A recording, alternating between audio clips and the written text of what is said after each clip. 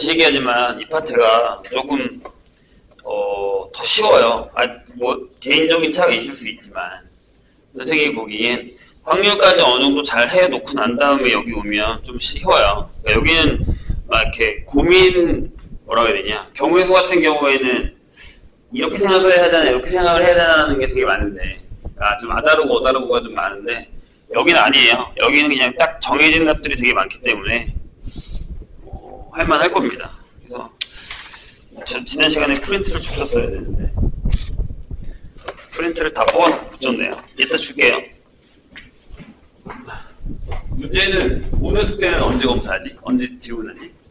나중에 선생님이 그 카톡에다가 우리 그 단체 톡방에다가 질문을 올리라고 하면 올려주세요. 선생님이 나중에 따로 풀어서 올려드릴 테니까 마무리는 해야죠. 꼭 마지막 특강은 그게 문제예요. 마지막 거는 대부분 아 다음 주에 수업이 없어 라고 하기 때문에 수업 문제를 안 풀거든요. 그러면 흐지부지 끝나는 거기 때문에 안 돼요. 특히 오늘 하게 되는 건 통계의 가장 핵심적인 부분이기 때문에 질문을 꼭 하시면 선생님이 나중에 나도 풀어서 올려드리겠습니다. 내신 대비할 때도 써먹을 수 있으니까 그, 아, 선생님 반이든 아니든 간에 나중에 이제 아마 그 4월 정도 되면 보통 선생님이 시험 기간을 보니까 4월 말부터더라고요. 대부분이 4월 25일, 26, 27 이때쯤 시작이에요. 그래서 잘 생각해 보시면 지금 2월 말이거든요. 그죠? 근데 두 달도 안 남은 거예요. 기말이. 근데 이제 뭐 다른 건 떠나서 확통 만약에 이제 중간고사 때 시험을 본다. 라고 하면 어, 아마 선생님들이 한 3, 4주 정도를 그 내신 대비 기간으로 잡잖아요. 그때 아마 선생님도 그렇고 다른 선생님도 그렇고 특강을 하실 거예요. 그런 내신 대비 특강을. 그래서 그때 들을 때 어, 선생님 같은 경우는 만약에 하게 되면은 오- 이번에 우리가 한 수업을 영상을 보고 뭐라고 할 거거든요. 그런 다음에 나갈 거예요. 개념을 안 하겠다는 건 아니고 모르겠어. 다른 선생님들은 어떻게 할지 모르겠지만 선생님은 개념을 하기는 할 건데 다는 못 하겠죠. 이 정도까지는 디테일하게. 그리고 그렇게 하고 내신 대비는 솔직히 확통은 진짜 문제를 많이 풀어야 돼요. 특히 앞부분은 특히나 더. 그러니까 이게 뭐 다른 과목들은 뭐 선생님이랑 같이 푸는 문제가 시험에 나온다라는 보장이 커요. 하지만 경우의 수랑 확률은 아니에요. 똑같은 문제가 안 나와요. 비슷한 유형이 나오지. 그러니까 뭐 수학투도 마찬가지긴 해요. 근데 딱 보면 본인이 알게 알, 알아요. 아 이게 그 문제랑 비슷하다라는 걸 안단 말이에요. 수학투. 근데 확통은 전혀 아니에요. 이게 왜 그렇게 풀어야 돼요?라는 질문이 나올 수밖에 없어요. 그리고 다시 얘기하지만 선생님이 맘먹고 시험 문제 더럽게 내면 얼마든지 더럽게 낼수 있는 파트예요. 말만 바꾸면 된단 말이야. 되게 어려워요. 그러니까 어, 내신 대비 기간 하기 전에 보통 한 4월 들어가면 내신 대비 기간 선생님이 계획을 짜는 사람이기 때문에 그렇게 될 것 같거든요. 4월 첫째 주, 둘째, 셋째 주 이게 아마 내신 대비 기간일 거예요. 3주 정도 잡으면 2학년들도 올해는 할 테니까 아마도 그렇게 되면 그 전주나 한 2주 정도나 3주 정도의 내신 대비 기간에 확통이랑 기아가 들어갈 것 같거든요. 느낌은 그렇게 되면은 이제 그때 그 아마 시험 범위가 많이 나가봤자 확률 정의 뭐한 학기 끝나는 학교는 많이 안 나가면 이항 정리 이 정도까지 나갈 거거든요.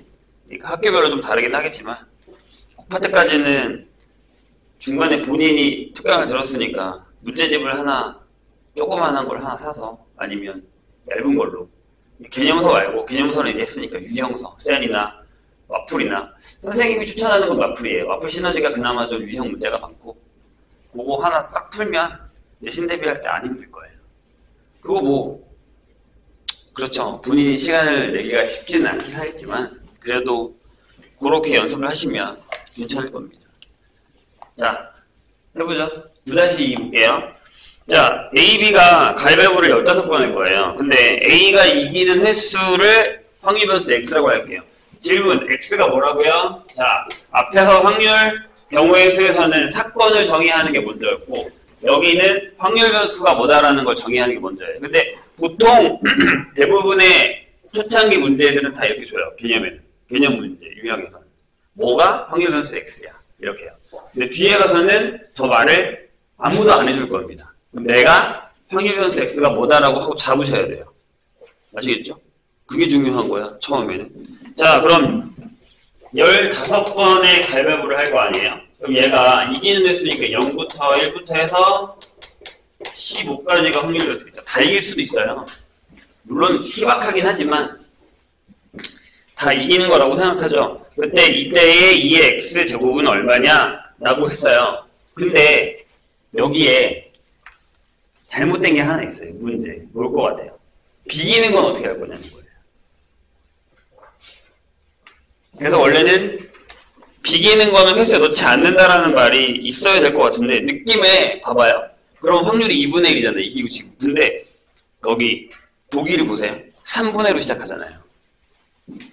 그쵸? 그럼 뭘것 같아요? 아, 비기는 것도 들어가는 거예요. 이 문제 잘못된 거야. 그 말이 있어야 돼요. 비기는 것도 친다. 비기는 거 포함 이 있어야 돼요, 이 말에는. 그러니까 이제, 이런 것들 때문에 확률이 어려운 거거든요. 어? 내가 생각하기에 이기고 지는 거니까 확률이 1분의 1이다라고 생각을 하겠지만 아니에요. 내가 이기거나, 제가 이기거나, 비기거나. 이렇게 세 가지로 가셔야 돼요. 그럼 질문. 내가 이길 확률이 얼마예요?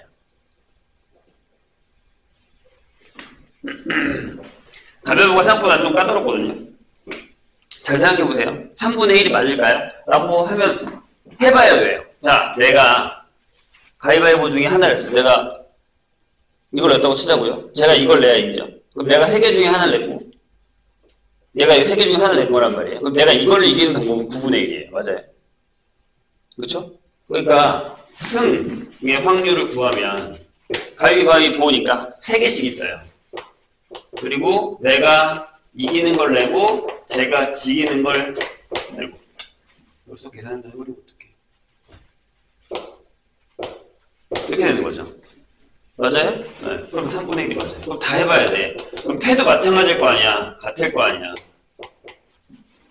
내가 이걸 내고 제가 이걸 했으니까 이해되시죠? 이것도 생각해야 돼요 이건 어떤 경우에요? 아, 이것도 똑같죠? 세 가지예요. 그죠? 네, 같은 걸 내고 같은 걸낸 거잖아요. 이렇게. 그러니까 3분의 1, 3분의 1, 3분의 1 똑같다는 거죠. 이거 확인하고 문제를 풀기 시작하셔야 돼요. 그럼 여기서의 질문은 이기는 횟수니까 이기는 확률은 이걸로 가셔야 돼요. 그러면 이걸 뺀 나머지가 지는 거냐? 아니죠. 비기거나 진 건 나머지로. 3분의 1로 가겠다니. 이해 되셨나요? 선생님 이게 무슨 얘기인지. 좋아요. 그럼 얘는 뭐예요? 이행분포죠. 왜요? 내가 전판에 이겨서 그 다음 판에 영향이 가요? 리셋이에요. 다시 가려고 하는 거잖아요.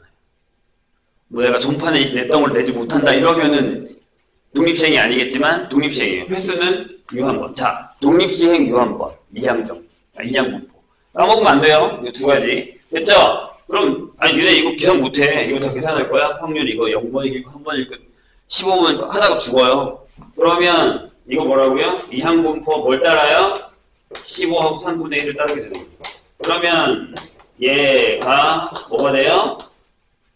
5가 되겠죠 이렇게 그럼 VX는요? MPQ예요 15 곱하기 3분의 1 곱하기 3분의 2 그래서 얘가 3분의 10이죠 근데 얘가 어떻게 계산한 거라고? 여기에서 이걸 뺀 거라고.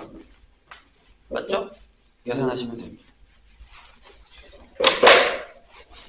이해 되셨어요?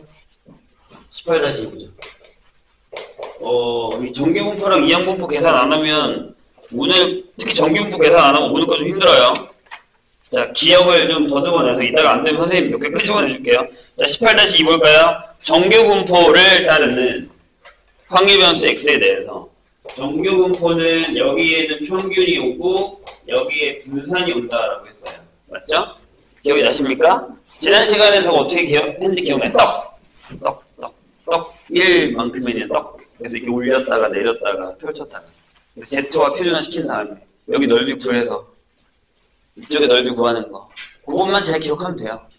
진짜 전기공포는 그것만 잘 이해하고 있으면 두고두고 걱정 없이 써먹을 수 있어요. 자, 보세요. 자, 이렇게 돼요. 그런데 뭐라고 물어봤냐면 이렇게 물었어요. 아마 지난 시간에 내가 요거 비슷한 문제를 하나 풀어줬던 것 같거든요. 자, m부터 z, m의 2의 시그마 얘 값은 항상 유명해요. 0.4772예요. 이렇게 된다는 얘기죠. 그럴 때 p의 x가 31 확률이 얼마냐? 라고 물었습니다. 잘 봐요. 선생님이? 이 꼬라지 보니까 누가 내 걸 썼나 본데. 자, 보세요. 선생님이 그때 이렇게 하라고 했어요. 자, 얘- 얘가 m이잖아요. 그러니까 시그마가 10인 거잖아요. 이게 시그마 제곱이잖아요. 이것만 대입한 다음에 여기다가 일단 넣어요. 오케이? 어, 넣어봐. 이렇게. P에. 일단 또 설명해 줄게. 그럼 여기 50이에요. 여기가 이렇게 되고요. 여기가 50 플러스 20이에요. 근데 얘가 이거란 얘기잖아요. 이 상황에서는. 이해했죠? 무슨 얘기인지? 어, 저 얘기인데, 이거 어떻게 풀어요, 선생님? 이렇게 되는 거잖아요. 자, 그럴 때 가장 좋은 방법은 일단 처음에는 정규분포 곡선을 그리세요. 이렇게. 대칭이라고 그랬죠. 여기 가운데가 얼마라고? 여기가 50이에요. 맞아요? 근데 지금 얘가 뭘 물어봤냐면 50부터 70까지라고 했어요. 그럼 여기가 좀 더 많이 가긴 해야 돼. 여기가 70이라고 하시면 여기에가 0.477이라는 얘기예요. 이렇게. 맞아요? 선생님이 이해했어요? 그럼 반대편으로 가볼까요? 대칭해서 이렇게. 왜? 20 더했으니까 20 빼면 여기 얼마예요? 30이죠. 얘가 질문하는 게 어디예요? 여기죠. 내가 이거 반띵 자르면 얼마라 그랬어? 0.5라 그랬어. 그럼 얘랑 얘랑 넓이 똑같을 테니까 얘는 이렇게 계산이 된다는 얘기죠. 무조건 정규분포 곡선을 그려놓고 문제를 푸는 게 가장 좋아요. 그게 베스트예요. 근데 선생님 이게 무슨 얘기예요? 라고 하는데 지난 시간에 우리가 했었던 표준화 작업을 한번 해볼게요. 여기서. 이거 모르고 그냥 여기서. 잘 들으세요. 여기서. 여기서 표준화 작업을 한번 해볼게요. 그럼 어떻게 되냐면, P에. 자, Z가 뭐였냐면, 이거였어. X에서 M 빼고, 시그마로 나눈 이거였단 말이죠. 기억이 나십니까? X에서 M 빼고 시그마. 여기서 M을 빼요. 0이죠. 나눌 필요가 없잖아? 그럼 여기 0이에요. 이렇게. 그 다음에 여기 Z가 됐을 거예요. 이렇게. 그 다음에 여기서 M 빼고 시그마로 나누면 2란 얘기. 얘가 이거예요. 그래서 정규표 표를 보면 얘가 이렇게 써 있어요. 이해되세요? 무슨 얘기인지? 그럼 얘를 여기다가 적용해서 이제 얘를 풀어볼게요. 그럼 자 m이 50이고 얘가 10이에요. 그럼 얘는 표준화 작업을 합시다. 그럼 이렇게 되는 거예요. 여기 Z가 됐고 자 뭐가 된 거죠? 여기서 50을 빼고 10을 나눴으니까 이게 된 거죠. 이해했어요? 그럼 얘도 이제 그림을 그려볼까? 얘 무슨 얘기야? 아 얘는 Z야. 여기 0이야. 근데 제가 뭐라고 했냐면 여기 2까지가 0.477이래. 이렇게. 뭘 물어봤어? 그치? 반대편. 여기 얼마냐고 물어봤잖아. 방법은 같잖아요. 같은 얘기예요. 아시겠죠? 그러니까 이걸 표준화 작업을 해서 이렇게 풀 거냐 아니면 이 상태에다가 대입해서 풀 거냐 이게 차이일 뿐이에요. 원래 떡으로 풀 거냐 0으로 갖다 놓고 세팅해서 풀 거냐 그 차이요. 이걸 이해하시면 돼요. 이게 정규분포의 가장 큰 그림이에요. 나중에 아마 1학기 기말에서 여기 보든 2학기 때 보든지 간에 솔직히 이 정규분포만 이해 잘하면 통계는 하나도 안 어려워요. 이 계산만 잘하면. 자, 19-1 볼까요?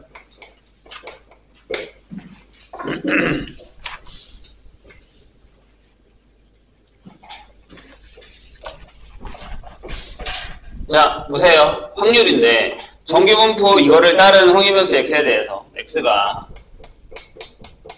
정규분포 m의 시그마의 제곱을 따르는 상황에서 어 거기 봐봐. 얘랑 비슷해 또. 이렇게 써 있어. P에 m x 뭐라고 돼 있냐면 여기가 소문자 x 이렇게 돼 있어요.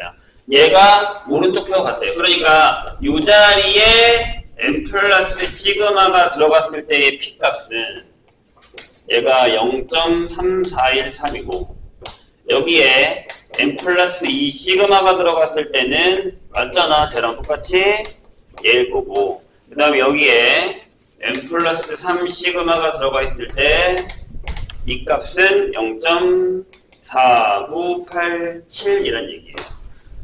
이해되실까요? 그럼 아까 선생님이 얘기했던 대로 바꾸면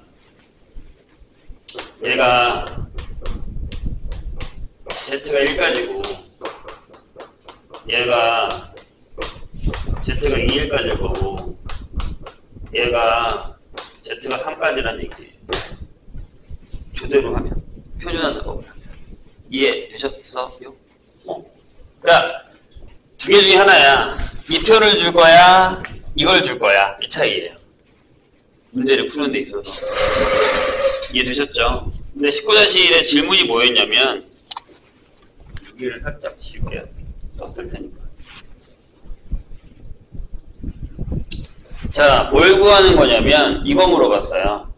얘가 정규분포 64의 6의 제곱을 따를 때 P에 아 이거 거꾸로 푸니까 어렵죠. A를 했을 때 얘가 0.1587이래요. 그럼 보통 이 문제를 풀 때는 어떻게 푸는 게 좋냐면 얘를 사용해도 좋지만 내가 여기서 얘가 이해가 안 되잖아요. 아까 선생님 여기 어떻게 했어요? 기억납니까? 내가 여기다 대입했잖아요. 이렇게. 기억나시죠? 근데 이거는 거꾸로 돼 있잖아요.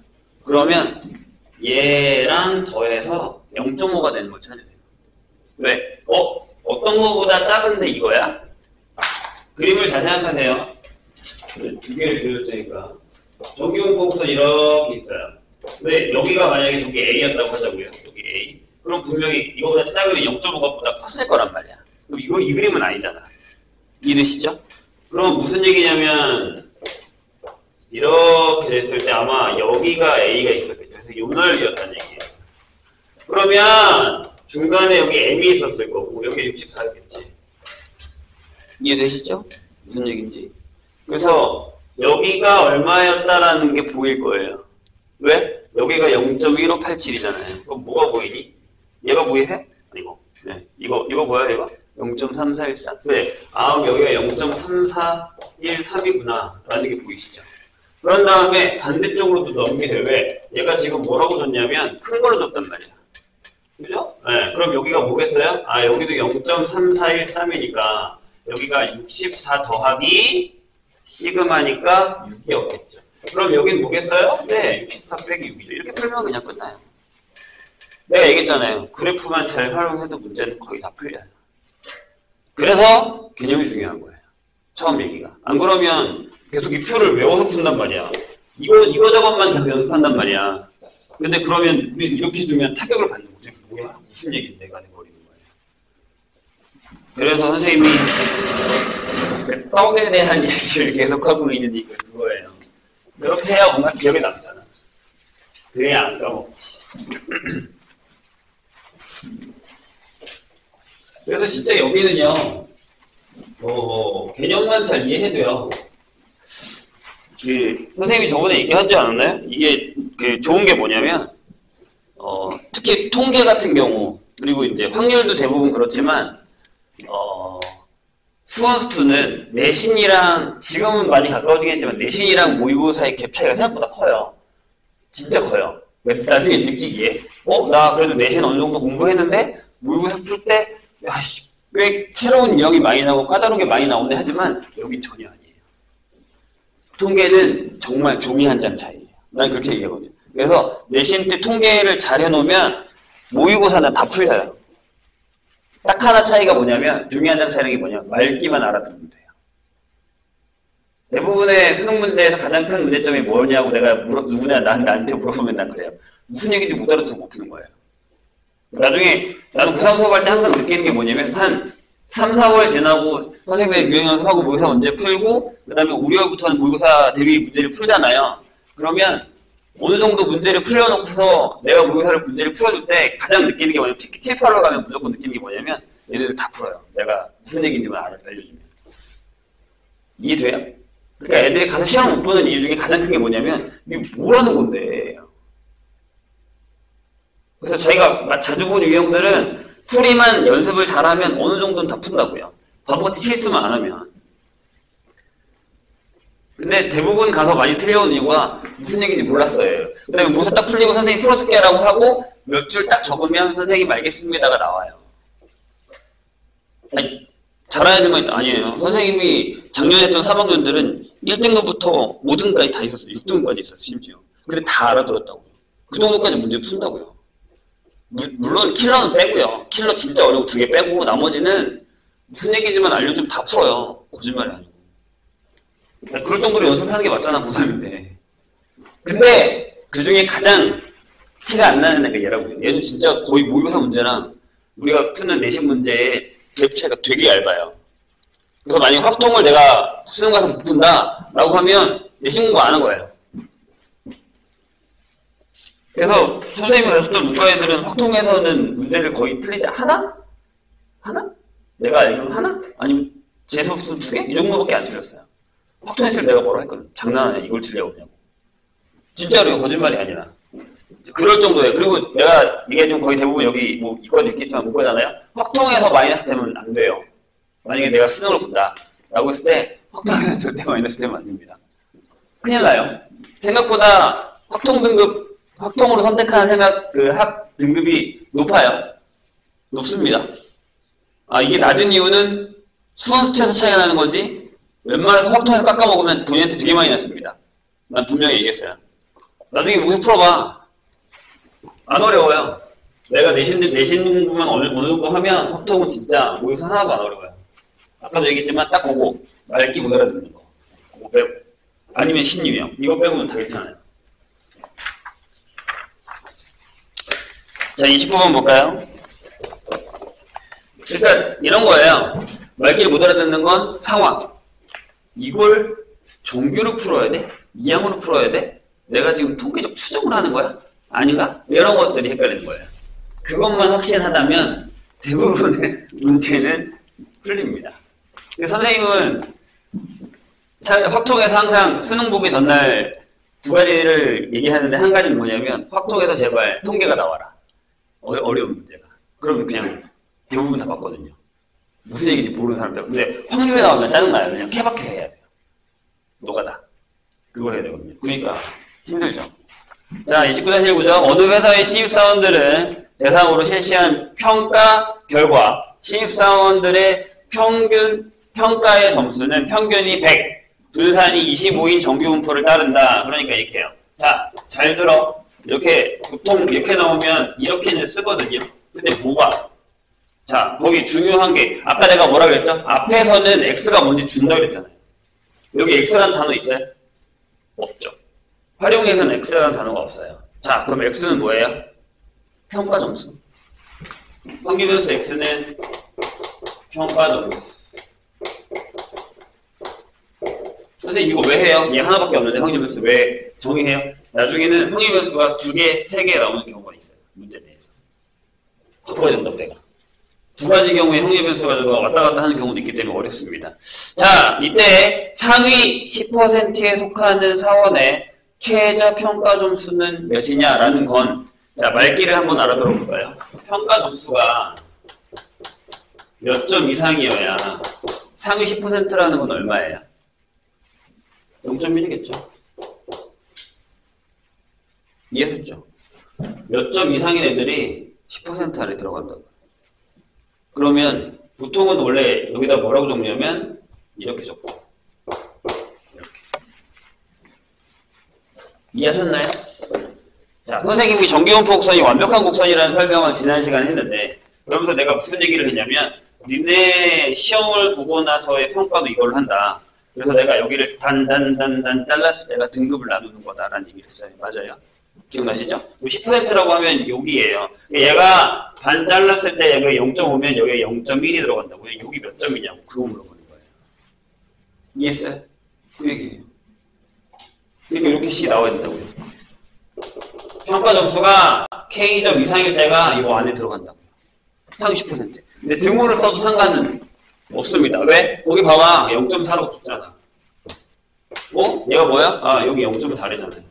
거기 뭐, 얘가 만약에 Z면, 뭐라고요? 0부터, 여기 얼마라고? 1.3 이렇게 되는 거죠. 이해되셨나요? 무슨 얘기인지?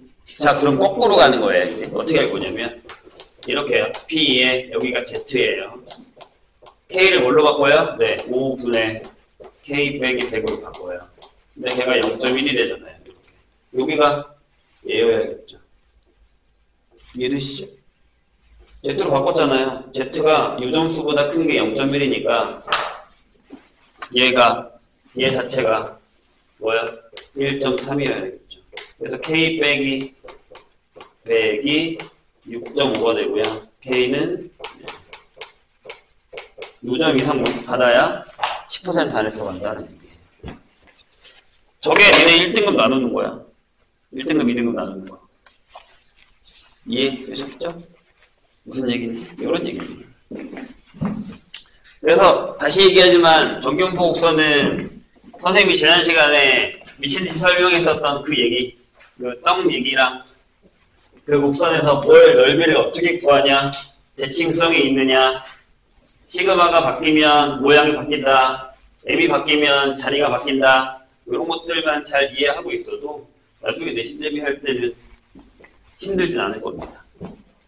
자, 이제 거기로 갈게요. 어디로 가냐면 다시 앞으로 좀 가서 지난 시간에 우리가 뭘 하나 안 했거든요. 뭘 안 했냐면 81페이지 맨 밑에 있는 거 있어요. 이항분포와 정기분포의 관계.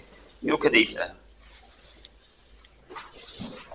거기다가 그 4번에다가 왼쪽 페이지 80페이지에 있는 큰수 법칙 있잖아요. 거기다가 연결을 시켜 놓든지 아니면 4번 위에다가 큰수 법칙이라고 적어 놓으세요. 아 이걸 표를 보면 좋은데 잠깐만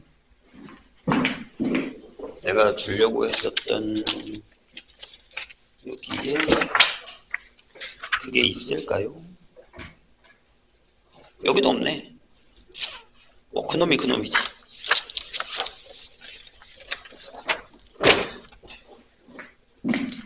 한 번 더 얘기하는데 그 얘기 안 했나? 그 나중에 어 이 확통이나 특히 통계 부분에서 선생님이 좀 이따가 하게 되는 이제 뭐 추정이라던가 아니면 확률 변수라던가 지금 우리가 하고 있는 이런 큰수 법칙이라던가 아니면 이항분포와 정기분포 관계 이런 것들은 선생님이 지금 설명을 해주겠지만 나중에 교과서를 꼭 제대로 한 번씩 읽어보세요. 교과서가 은근히 교과서를 무시하면 안 돼. 교과서가 은근히 그런 설명들을 되게 잘 해놔요. 좀 말적인 표현으로. 근데 내가 교과서 보는 걸 별로 안 좋아하는 사람들이 많은 건 아는데 꼭 읽어보세요. 필요합니다. 이 안 오시는 분들은 오늘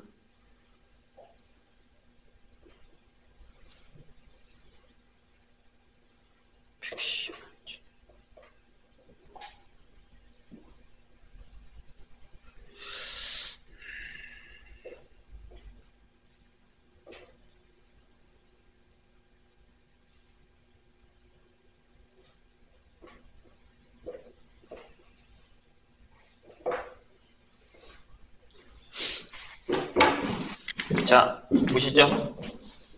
지난 시간에 했었던 요 얘기를 다시 한번 하고 갈게요. 큰수 법칙이라는 게 있었죠? 왼쪽 페이지에 큰수 법칙이라는 게 있었어요. 뭐였냐면 선생님이 그 얘기했잖아요. 주사위를 한 번 던져서 1의 눈이 나올 확률이 6분의 1이야. 근데 진짜 여섯 번 던지면 한 번 나오냐? 아니라 그랬잖아요. 그래서 그게 안 돼서 60번 던지고 600번 던지고 이렇게 할 거예요. 근데 거기 큰수 법칙에 보면 횟수를 나중에 이제 교과서에 나오는 큰수 법칙에 보면 자 보세요. 교과서에 나오는 큰수 법칙을 보면 첫 번째 n이 11대를 하고요. 두 번째 n이 31대를 하고요. 세 번째 n이 51대를 보여줘요. 무슨 얘기냐면 만약에 진짜 주사위를 할 건데 10번 던졌을 때 몇 번 나와? 라는 걸 할 거고 그 다음에 30번 던졌을 때 몇 번 나와? 라는 걸 할 거고 50번 던졌을 때 몇 번 나와? 라는 걸 할 거예요. 근데 이걸 지금 뭘로 계산하는 거예요? 이항분포로 계산하는 거예요. 무슨 얘기냐면 주사위잖아요. 그죠? 근데 n이 결정됐잖아요. 그리고 주사위를 던졌을 때 1이 나올 확률이 6분의 1이잖아요. 그쵸? 그러면 1의 눈이 x번 나왔다고 하자고요. 오케이? 그럼 얘는 아까도 내가 얘기했지만 이항분포 n 곱하기 n 하고 6분의 이렇게 나올 거란 말이에요. 쟤를 따르겠죠. 이해 되세요? 선생님? 그쵸? 저렇게 될 거 아니에요? 맞아요? 그런 다음에 여기서 뭘 구하냐면 이걸 구한대요. P에 자, 그 밑에 써 있어요. 절대값 n분의 x 빼기 P의 절대값이 어떤 h보다 작을 확률이라는 걸 구할 거래. 거기 이렇게 써 있어요. 보이세요? n분의 x 빼기가 h보다 작을 확률. h는 얘네가 그 쓰는 극한에서의 그 h야. 수학에서 이, 소, 이 소문자 h는 아주 작은 숫자를 의미해요. 근데 그 숫자를 점점 여기 가까이 보낼 거거든요. 나중에 극한에서는. 근데 여기는 아직 그 얘기는 없어요. 극한의 개념을 넣지 않았으니까. 자, 요렇게 될. 자, 근데 거기 h가 뭐라고 써있냐면 임의의 작은 양수 h에 대해서 n이 한없이 커질 때라고 써있단 말이에요. 자, 여기다가 뭘 넣겠다는 거야? 아, 요 n을 무한대로 보내겠다는 얘기예요. 그렇다는 얘기는 여기서 이렇게 보내겠다는 얘기겠죠. 선생님이 이해했나요? 오케이. 그러면 마지막에 결론을 보세요. 얘는 1에 한없이 가까워진다. 얘가 1에 한없이 가까워진다. 이렇게 된다는 거죠. 제가 확률이라는 게 1에 한없이 가까워진다는 건 일어날 가능성이 100%라는 얘기잖아요. 그럼 얘랑 얘랑 차이가 거의 없을 확률이 1이다라는 얘기잖아요. 어떻게 되면 n이 점점 커지면. 그래서 선생님이 나중에 뭐라 그랬죠? 횟수를 늘리면 통계적 확률이 수학적 확률에 가까워진다는 얘기를 했었어요. 기억이 나십니까? 무슨 얘기인지. 이게 중요한 포인트라고 했어요. 그래서 예전에는 이게 서문설형 문제에 나왔었다. 라고 얘기했습니다. 아, 몰라도 돼요. 그때 가서 또 서- 다른 선생님들이 설명해 주실 거예요. 자, 근데 잘 들으세요. 그렇게 될 건데, 그렇게 될 건데, 내가 n이 10일 때, 30일 때, 50일 때를 해서 여기가 나왔으니까 이거를 구했어요. x가 x일 때 확률을 구했어요. 이해돼요? 무슨 얘기인지. 그러니까 여기서는 0일 때, 1일 때, 3일 때, 4일 때, 5일 때, 10일 때까지 구하고 여기서는 0부터 30까지 구하고 여기서 0부터 50까지 다 구했단 말이야. 그래서 그 그래프를 그 그래프를 표로 나타냈어요. 확률 분포표로. 근데 뭐라 그랬냐면 이항분포는 막대라 그랬단 말이야. 기억나시죠? 중간이 없어. 0일 때 1일 때 중간이 없고 1일 때 1일 때 중간이 없어. 기억나시죠? 연속이랑 달라. 나 지금 이항분포 얘기하고 있는 거야, 얘들아? 이렇게 되는 거란 말이에요. 근데 그, 그 그래프의 곡선을 이렇게 따라서 움직여봤다? 그랬더니 n이 10일 때는 자, 여기가 10이다. 여기가 30이고 여기가 50이면 잘 봐요. 얘가 그래프를 따르겠더니 약간 요렇게 이게 이게 이게 막, 막대니까 이렇게 해서 이렇게 떨어지고요. 10은 30은 여기서부터 이렇게 이렇게 해서 이런 식으로 했다가 이렇게 떨어져요. 근데 신기한 게 50 정도 되면요. 약간 이런 그래프가 돼요. 그래프 곡선이 좀 전에 우리가 했었던 정규 분포 곡선에 점점 점점 가까워져요.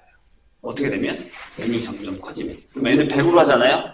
300으로 하잖아요. 3000으로 하잖아요. 그럼 거의 정규 분포 곡선이나 근사치의 모양이 나와요. 이렇게. 이해되실까요? 나중에 봐봐. 학교에서 보는 필수 법칙의 그 교과서에 이 그래프가 무조건 나와 있어요. 그런 다음에 마지막에 4번 다시 확률분포 x가 이항분포 np를 따를 때 거기 뭐라고 써있냐 봐봐요. n이 충분히 크면 봐봐 필수 법칙에서도 방금 내가 뭐라 했어? n이 충분히 커지면이라고 했죠. 여기도 n이 충분히 크면 x는 정규분포를 따른다라고 했어요. 그게 무슨 얘기냐면 이 이항분포에서 이 n이 겁나 크잖아요. 엄청나게 큰 수를 줘요. 그러면 계산을 못해요. 뭘? 이거를. 예를 들어 줄게. 만약에 내가 여기서 횟수를 뭐 그냥 거짓말이 아니라 한 100번 던졌다고 치자. 100번. 주사위를 100번 던졌어. 너무너무 심심해서 내가 진짜 여, 여, 여섯 6분의 1이 나오는지 하려고 100번을 던졌어. 그러면 이게 이항분포 100에 6분의 1을 따는단 말이에요. 범위도 아니야. 심지어 무디스 우리가 내가 범위를 구하라고 했는데 범위도 아니고 P에 X가 그냥 딸랑 그냥 제일 간단한 걸로 할게. 50일 확률로 물어봤어요. 반 정도가 나올 확률이 얼마야? 이렇게 물었단 말이야. 이거 계산해 볼게. 어떻게 계산해 이거? 기억나니? 100번 중에 50번이고 6분의 1의 50제곱에다가 6분의 50제곱 계산해야 돼. 그나마 선생님 숫자로 50을 줬으니까 망정이지. 계산할 수 있어요? 아니 미쳤어요. 이거 하고 있게. 못해요. 죽어요. 아, 나 이건 계산 못하겠네? 라는 생각이 든단 말이에요. 근데 심지어, 잘 들어. 여기 개수를 확 늘리잖아요? 그럼 문제에서 어떻게 주냐면, 아니, 나 이건데, 나 이거 말고, 이거 묻고 싶어. 이거를 가- 알려, 알려주라고 해요. 미칠 지경이죠. 51대, 51대, 51대, 31대, 60일대까지 다 구해야 돼요. 나보고 죽으란 얘기잖아요. 못한다고요. 근데 내가 방금 뭐라 그랬죠? n이 꽤 커지니까, 꽤 커지니까, 이 이항분포에 나타내는 그 그래프가 선을 이었더니 정규분포랑 모양이 똑같아요. 응? 그러면 아, 이거 못 구할 거고 어차피 확률이라는 건 약간의 근사치 값이기 때문에 얘를 선생님이 이렇게 얘기합니다. 정규화 시킨다고 해요. 시킨다고 해요. 근데 여기서 사- 살짝 괴리가 생겨요. 얘기? 선생님 처음에 배울 때 이항은 이산이었잖아요.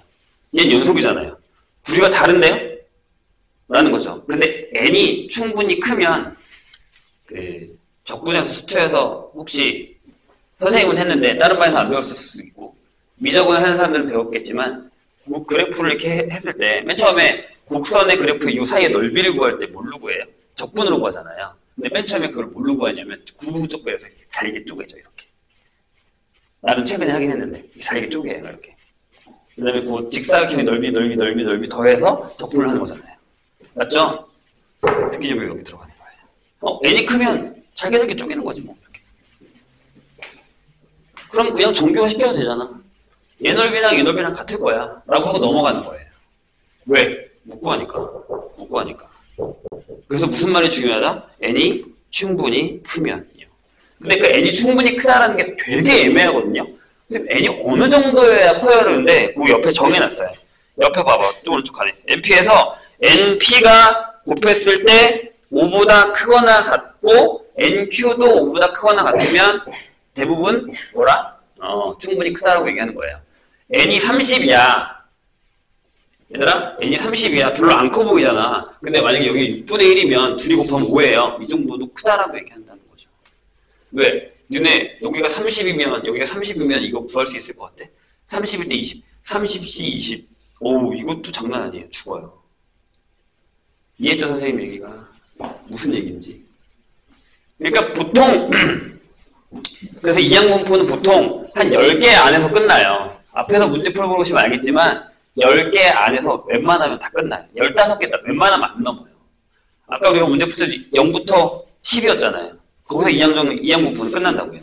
그런데 n이 충분히 컸을 때 우리가 이걸 정규화한다고 해요. 근데 그럼 봐봐. 다시 x가 np를 따라요. 근데 n이 꽤 커요. 심지어 눈치를 잘 채 얘들아. 이거 구해달래요. 이렇게. 잘 들어. 이 문제를 구별하는 방법을 알려줄게요. 선생님, 이항분포인데 정규화 시키는 건 어떤 거예요? 라고 물어보는 사람들이 되게 많아요. 다 해요? 아니잖아요. 어떤 건 그냥 이항분포대로 푸셔야 돼요. 어떤 경우냐면 이렇게 줬는데 n이 커요. 근데 범위를 줘요. 그럼 무조건 정규화 시키셔야 돼요. 그렇게 풀라는 거야. 그리고 내가 딱 정, 이항분포를 계산하려고 했는데 마음을 먹었지만 이게 안 되면 못 푸는 거예요. 그럼 정규화 시켜야 돼요. 기억이 나야 됩니다. 잘 까먹어요, 은근히. 선생님, 이거 못 푸는 문제 아닌가요? 라고 물어보는데 정규화 시키는 거라고 얘기했어요, 선생님이. 방금. 그 차이를 찾으시면 됩니다. 자, 근데 무슨 문제가 뭐냐면, 원래 예전에는 이렇게 했었거든요. 땡땡. 왜냐하면 이게 근사값이었어.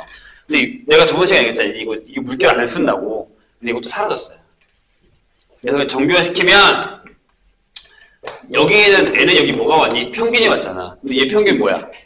NP지, NP. 여기, 여기 NP가 와요. 여기 뭐가 왔어? 분산이 왔죠? 표준 편차 제곱. 이게 분산이 뭐야? NPQ가 여기 NPQ가 올라와요. 거기 정규화를 시킨다라는 얘기가 되는 겁니다. 이해되실까요? 좋아요. 넘어가서 하나 문제를 볼게요. 어느 쪽으로 어디까지 가냐면 아까 우리 푼 데서 다음 활용 다음 어, 네, 거기 31번 볼까요? 그래서 이 큰 수법칙이라는 녀석이 생각보다 꽤 유용하게 쓰이는 경우가 많아요. 그래서 뭐 그냥 대충 아, 그냥 그렇구나 하고 넘기지 말고 나중에는 꼭 풀어보세요. 자, 31-1. 우리가 가장 위험한, 유형집이 가장 위험한 게 뭐라 그랬죠, 선생님이? 뭐냐면, 아, 내가 지금 유형을 풀고 있으니까 위에서 푼 방법을 밑에 문제도 제대로 안 읽고 그냥 그대로 풀어요. 그럼 나중에 내가 아까 선생님 얘기했었듯이 시험을 볼 때 이게 뭐야? 라는 유형이 나한테 들어오지 않아요. 왜? 그 앞에 타이틀에 유형이 없으니까. 그럼 안 돼요.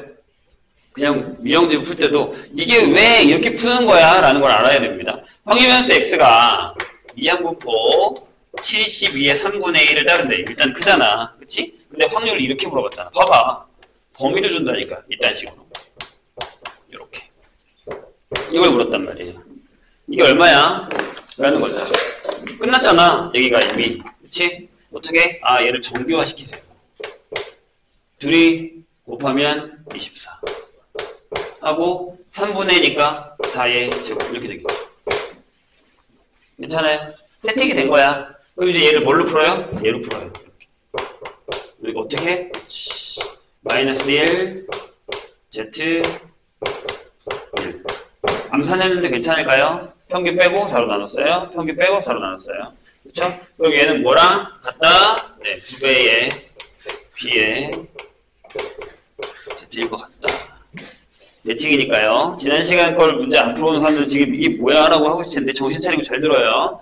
정규 분포로 풀고 있는 겁니다. 근데 지금 여기 뭐 하는지 알지? 얘들아. 이렇게 넘어가는 거. 설마. 모르면 물어보셔야 돼요. 그럼 답이 끝났죠. 0.3413의 두 배니까 답이 0.6826? 4번이겠죠. 이렇게 되는 거예요. 됐나요? 32-1은 안 할게요. 이런 거야. 근데 33-1 보세요.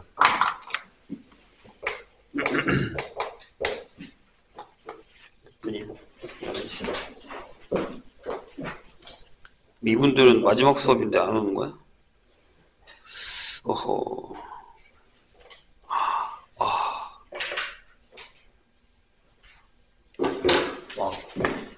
자, 33-1 보죠. 자, 100개의 동전을 던졌을 때 앞면이 나오는 동전의 개수가 40 이상 60 이하. 봐봐. 무슨 일이 벌어져? 어? 100개의 동전을 던져? 동전 던지는 건 독립시행인데? 근데 뭐라고요? 앞면이 나오는 동전의 개수. 그러니까 여기서 앞면이 나오는 동전의 개수를 평균면 4개의 수 잡은 거예요. 그럼 얘는 일단 이항분포 몇 번 던진다고? 100번 던진다며. 선생님 피가 없어요. 야이씨 미분액이잖아. 그죠? 고민하지 말고. 선생님 피가 없어요. 이러시면 안 돼요. 피가 없어서 못 푼다더니. 근데 질문을 봐봐. x가 40개 이상, 60개 이하. 그러니까 어.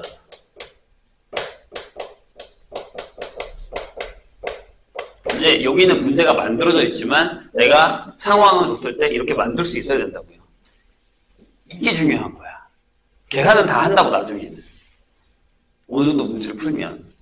근데 아 내가 앞면에 동전의 개수를 형님에서 잡고 걔가 독립시행이니까 100번 던졌대. 아 이양분포를 따르네. 근데 얘를 이렇게 줬어? 아 그럼 나는 그치 정교화를 시켜야겠다. 이렇게. 그치 몇 명이 지금 눈이 흔들리는 게 저게 왜 저렇게 나오냐라고 하는데 평균이고 분산이에요. 정신 차리고 같이 따라오세요. 이거 놓치면 안 돼. 여기서 여기 놓치면 우리가 마지막에 하게 될 통계적 추정고사도 머리 아플걸요? 됐죠? 그럼 여기서 어떻게 한다고? 그렇지. 여기서 50이잖아. 그럼 피해. 마이너스 2. 아니지. Z로 바뀌었죠? 이- 이렇게 되는 거죠.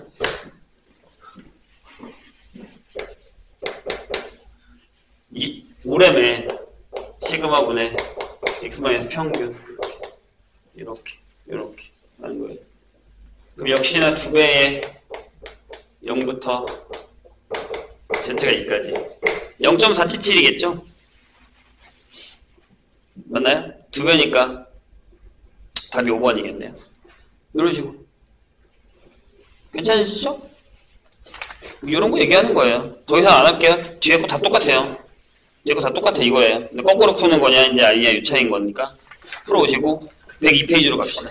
오늘 이게 할 말이 좀 많아서 할 말이 좀 많아서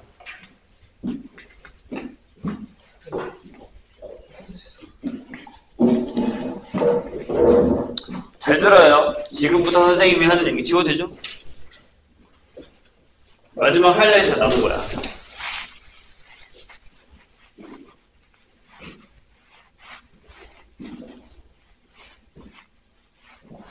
조금 어렵습니다. 그래서 잘 들으셔야 돼요.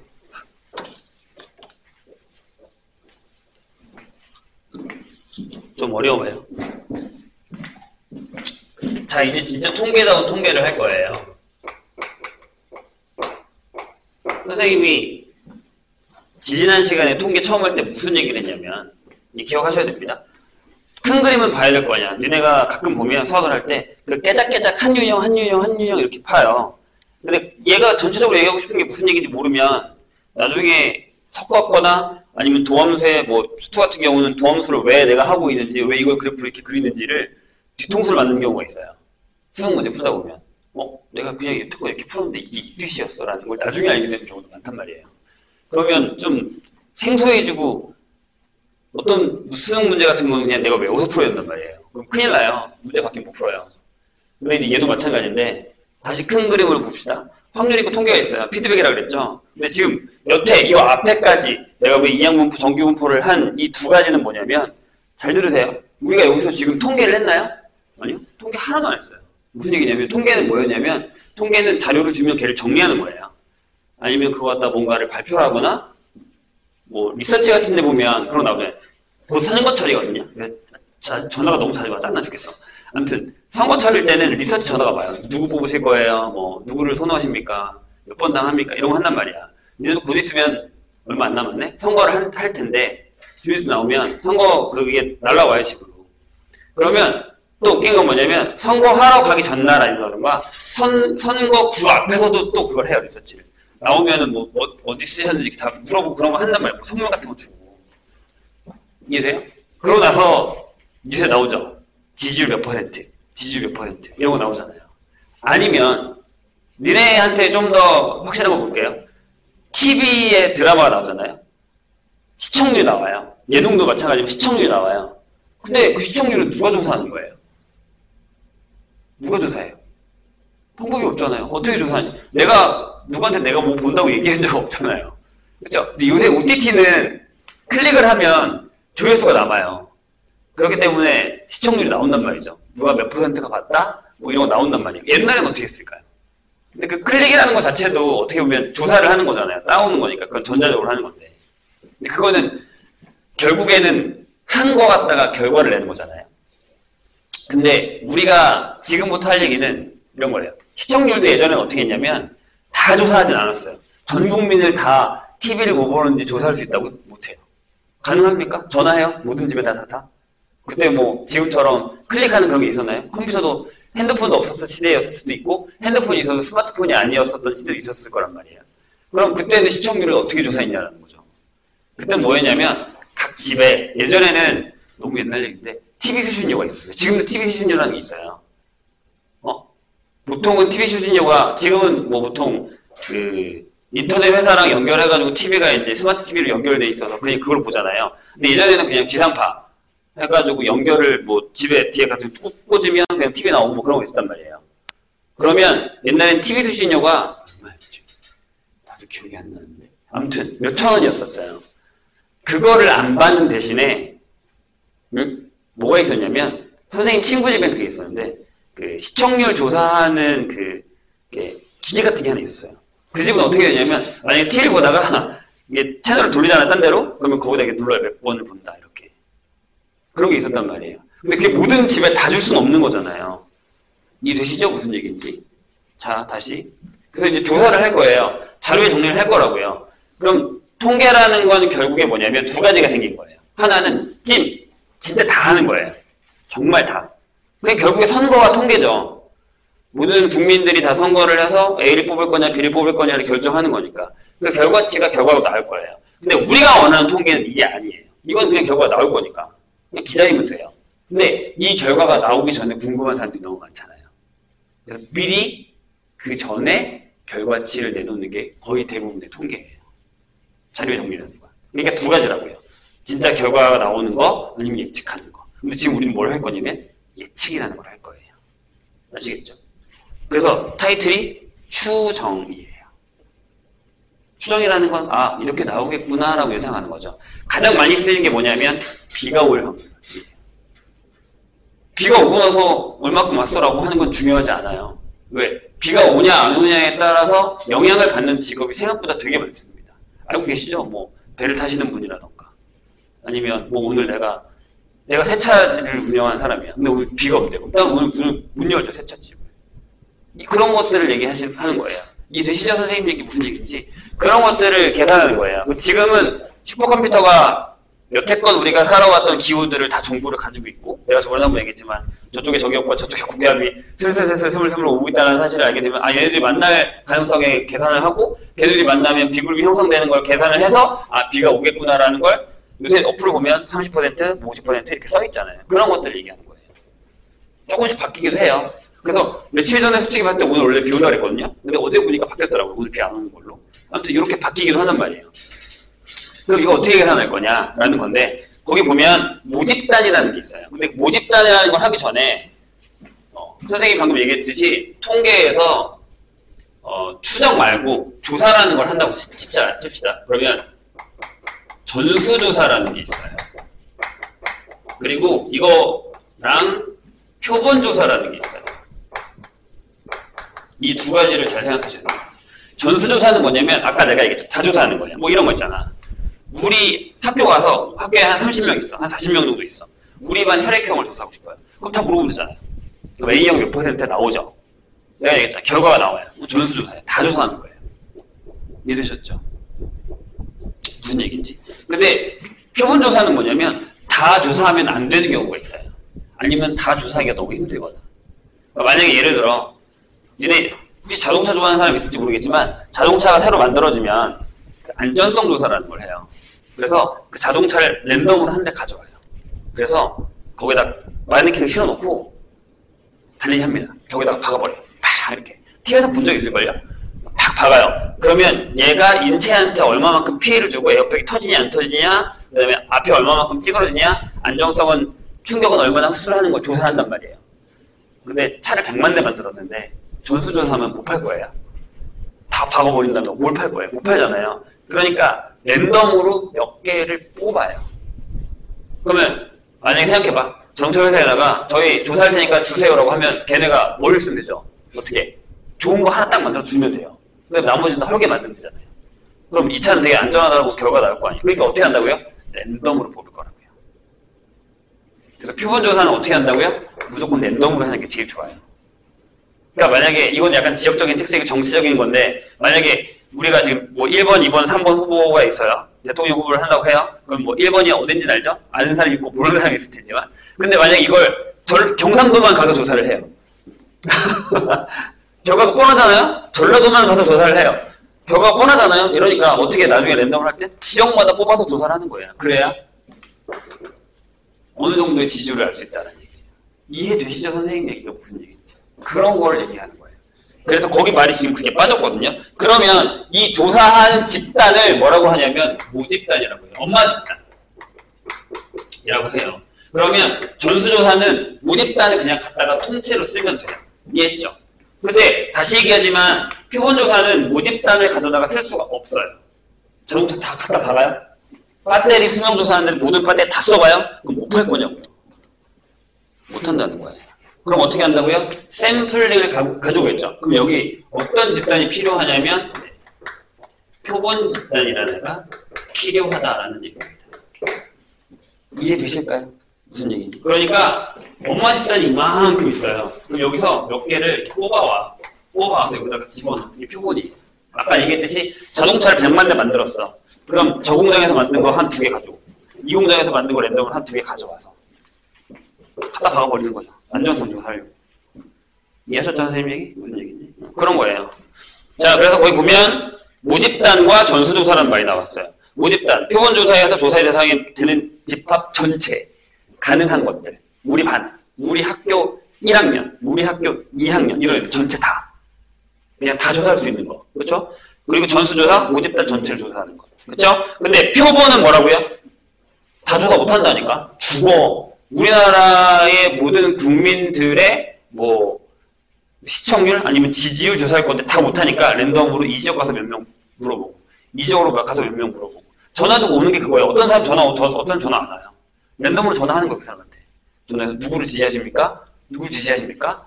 샘플을 뽑겠다는 거죠. 샘플이라는 단어를 되게 많이 써요, 여기서. 샘플링 작업을 해요. 그거에서 조사를 해서 전체가 이렇겠구나. 자, 그래서 이렇게 얘기합니다. 모집단에서 표본 집단을 뽑는 걸 추출이라고 해요. 샘플 추출이라고 들어봤죠. 그런 단어. 그렇죠. 추출이라고 해요. 그 추출을 해서 아 표본 집단의 성질을 가지고 모 집단이 그렇겠구나라고 하는 걸 추정이라고 해요. 아시겠죠? 전체 집단이 이렇게 있어. 다 조사 못하겠어. 그럼 몇 개 가져와. 이거를 조사해. 그러면 아 전체 집단이 이런 성질을 띠겠구나라는 거죠.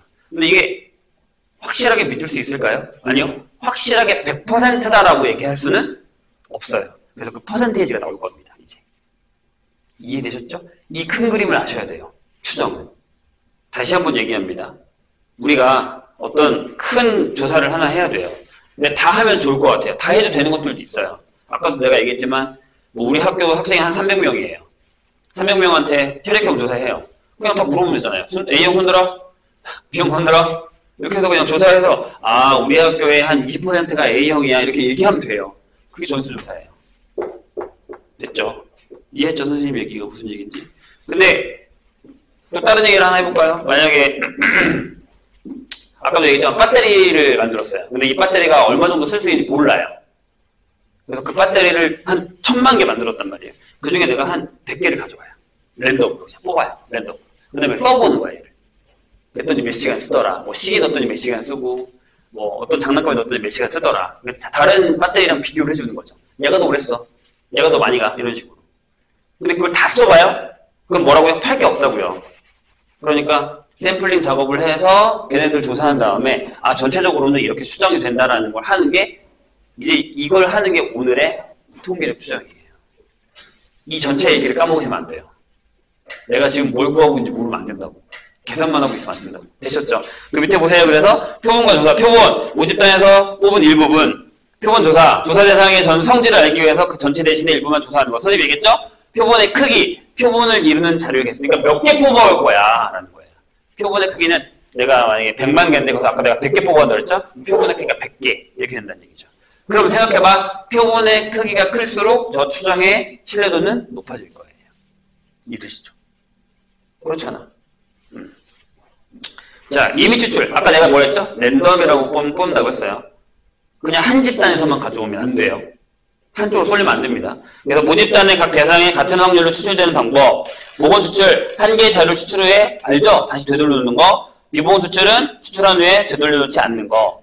라고 해요. 그럼 아까 자동차 같은 경우나 배터리 같은 경우는 비보건 추출인데, 자, 여기도 나중에 말이 많겠지만, 비보건 추출과 보건 추출의 차이를 많이 내지 않습니다. 이유가 뭘까요? 겁나 많으면, 겁나 많으면, 한 천만 대 돼. 1억 대가 돼. 그 중에서 한두 대 없어지는 건 차이가 나지 않아요. 그쵸? 그래서 비보건 추출도 개수가, 원래 모집단의 개수가 엄청 크면 비보건 추출이나 보건 추출이나 같은 방법으로 계산한다라고 생각하시면 됩니다. 그래서 보통 그거를 임의 추출이라고 얘기를 합니다. 아시겠죠? 그래서 이거에 대한 문제는 잘 나오진 않을 거예요. 거의 예전에 나왔었는데 안 나와요. 뭐 보건 추출하는 방법이냐, 비보건 추출하는 방법이냐 이런 것들이 나오는데 안 나옵니다. 자, 그래서 모평균과 소원평균이라는 게 있는데, 자, 모평균은 뭐냐면, 우리 여태껏 조사했었던 거예요. 여기 모집단을 조사해요. 그럼 여기 평균 M. 분산 이거예요. 이렇게. 이렇게 써요. 그래서 뒤에 웬만하면 아무것도 안 달려 있거나, 여기가 대부분 X라고 줘요. 모집단은. 변수를. 확률 변수를. 대문자 X를 주고, 얘가 EX, 얘가 VX예요. 그렇게 그냥 알고 계시면 돼요. 그래서 거기 보시면, 무평균, 무분산, 무표준 편차라고 해서 이렇게 소문자 시그마 제곱 시그마로 나타내요. 근데 표본 평균이라는 게 있어요. 자 이제부터 잘 들으세요. 잘 들어요. 선생님 아까 뭐라 했냐면 이 모집단 X에서 저것들을 다 조사할 수 없기 때문에 몇 개를 가져온다고 했어요. 그래서 내가 이게 잘 들으라고 했다. 중요한 얘기. 지금부터 되게 중요해. 여기서 일로 갖고 올 때 n개를 가져왔어요. 됐죠? 근데 저걸 어떤 경우에는 한 번만 해요. 근데 여러 번 하는 경우도 있어요. 왜? 한 번 뽑아서 모르겠어. 여러 번 뽑는 경우도 있다고요. 그래야 여기에 가까워질 테니까. 근데 잘 들어요. 일단 한 번 뽑았어요. 그럼 이렇게 나올 거 아니야. x1, x2, x3 해서 xn이 나왔겠죠. 이렇게. 괜찮습니까? 거기 보면 그래서 추출 n개라고 했어요. 그런 다음에 얘네를 평균 내요. 얘네를 그냥 평균 낼 거야. 자, 조심. 2라는 단어를 안 쓰고 그냥 이렇게 쓸 겁니다. 이게 자 뭐라고 써있나 보세요. 표본 평균이에요. 얘가 이 표본 왜냐하면 헷갈리는 게 하나 있어서 그래. 이 표본을 이렇게 놨으면 이 표본에 대한 평균이 이거예요. 그래서 제가 여기가 말이 좀 어렵다. 잘 들어라. 이거고요. 그 다음에 갑자기 대문자 S가 와요. 그 다음에 대문자 S가 와요. 얘가 표본 분산이에요. 다시 한 번 얘기하지만 한 번만 한 거예요. 한번 N개를 뽑아서 이걸 구했다는 얘기예요. 한 번만 했어요. 의? 잘 들어. 중요해. 한 번만 했다고요. 자, 그런데 그래서 밑에 보면 X반은 얘네 다 더한 다음에 X반은 맞죠? n분의 1 해서 X1, X2, Xn 이렇게 한단 말이에요. 근데 거기 신기한 게 하나 있어요. 분산을 구할 때 뭐라고 돼 있습니까? 편차의 제곱의 평균을 하잖아요. 그럼 그치 편차의 제곱이니까 x1에서 x바를 빼서 제곱 x2에서 x바의 제곱 이렇게 해서 계산해요. 그 다음에 xn에서 x바의 제곱을 해서 다 더했죠. 분산이 뭐라고 기억나야 돼? 편차 제곱의 평균. 까먹으면 안 된다. 됐지? 근데 신기하게 여기를 얘로 나눠요. 거기 S제곱 이렇게 써 있어요. 그쵸? 요 얘기는 좀 이따가 다시 할게요, 내가. 요거는. 이, 뭐, 지금도 설명할 수 있는데 조금만 더 이따가 설명할게요. 왜냐면 하나가 더 있어야 돼서. 자, 그런데, 그런데, 잘 봐요. 그런데 선생님 방금 뭐라고 했냐면 이게 한 번 이루어진 거예요. 내가 n개를 뽑아서 해요. 그 다음에 복원이라고 생각하세요. 쟤를 다시 돌려줘요. 응? 돌려놔요. 그 다음에 한 번 더 해요. 그걸 여러 번 해요. 나올 수 있는 모든 case by case를 다 했다고 쳐요. 그러면 이 x바가 여러 개가 나오겠죠. 한 번 했을 때 평균이 이렇게 나올 거고 또 한 번 했을 때 평균이 이렇게 나올 거고 그 다음에 했을 때 평균이 이렇게 나올 거고 이렇게 나오겠죠. 이건 선생님이 좀 이따가 문제 풀 때 예를 들어 설명할 거예요. 그래서 x바가 여러 개 나오잖아요. 그럼 얘가 뭐가 되냐면 얘가 변수가 돼요. 다시. 왜 x바가 여러 번 여러 개 나올 수 있다고 했잖아요. 방금. 이해하셨나요? 잠깐만. 여기 그게 없나? 아씨 그게 없네. 그 말이 없네. 그 문제가 없네요. 아, 네. 보세요. 이런 거야. 아주 간단한 예를 선생님 하나 들어줄게요. 왜냐면 이게 조금 어려워서 그래요. 만약에 자 x라는 애가 1하고 2하고 3이에요. 이렇게. 확률이 3분의 1, 3분의 1, 3분의 1이라고 합시다. x가 나올 확률이 이렇게. 괜찮죠? 그냥 되게 간단한 거 하나 그냥 선생님 쓴 거예요. 아니면 조금만 다르게 가자. 여기 4분의 1, 여기 2분의 1, 4분의 1 이렇게. 괜찮죠? 그럼 여기에 평균은 2예요. 계산해 보시면 아시겠지만 뭐 그렇게 어렵진 않아요. 아무튼 이렇게 돼 있잖아요. 근데 만약에 내가 여기서 모집단이에요. 모집단이라고요? 그럼 여기에 1이 되게 많을 수도 있고 2가 겁나 많을 수도 있어요. 그러니까 만약에 한 40개가 있는데 10개가 1이고 20개가 2고 10개가 3, 3이에요. 이렇게 돼 있다고 치자고요. 그럼 이거 맞잖아요. 이해하셨죠? 선생님 얘기? 주머니에 1이 10개, 2가 20개, 3이 10개에서 40개 중에 40개 중에 10개, 40개 중에 20개, 40개 중에 10개 이렇게 있다고 치자고요. 그럼 얘가 모집단이죠. 전수조사하는 거니까 내가 지금. 그죠? 근데 내가 여기서 두 개를 끄집어낼 거예요. 두 개만 뺄게요. 샘플. 괜찮아요? 그냥 간단하게. 그럼 맨 처음에 x바가 될 수 있는 건 뭐예요? 1이 될 수 있죠. 내가 1이랑 1 뽑으면 x바가 1이잖아요. 이해돼요? 선생님 얘기 이해했어요? 1.5 돼요? 되죠? 1이랑 2 뽑으면 2 돼요? 되죠? 2, 1을 뽑든가 1하고 3 뽑으면 돼요? 2.5 돼요? 3 돼요? 다섯 가지가 나오죠? 이 얘기예요. 이 x바가 여러 개 나온다는 얘기는. 선생님 얘기 이해하셨습니까? 간단하게 얘기하면 이 얘기예요. 그럼 x바가 x보다 더 많아졌죠? 되셨나요? 그럼 얘가 뭐가 되냐면 또 하나의 변수가 된 거예요. 뭐라는 변수? 표본 평균이라는 변수가 되는 거예요. 이걸 왜 공부하는지는 조금 이따 다시 알려줄게요. 여기까지 괜찮습니까? 잘 들어놓으세요. 됐죠? 이게 표본 평균이야. 근데 무슨 일이 벌어지냐? 잘 들어요. 잘 들어요.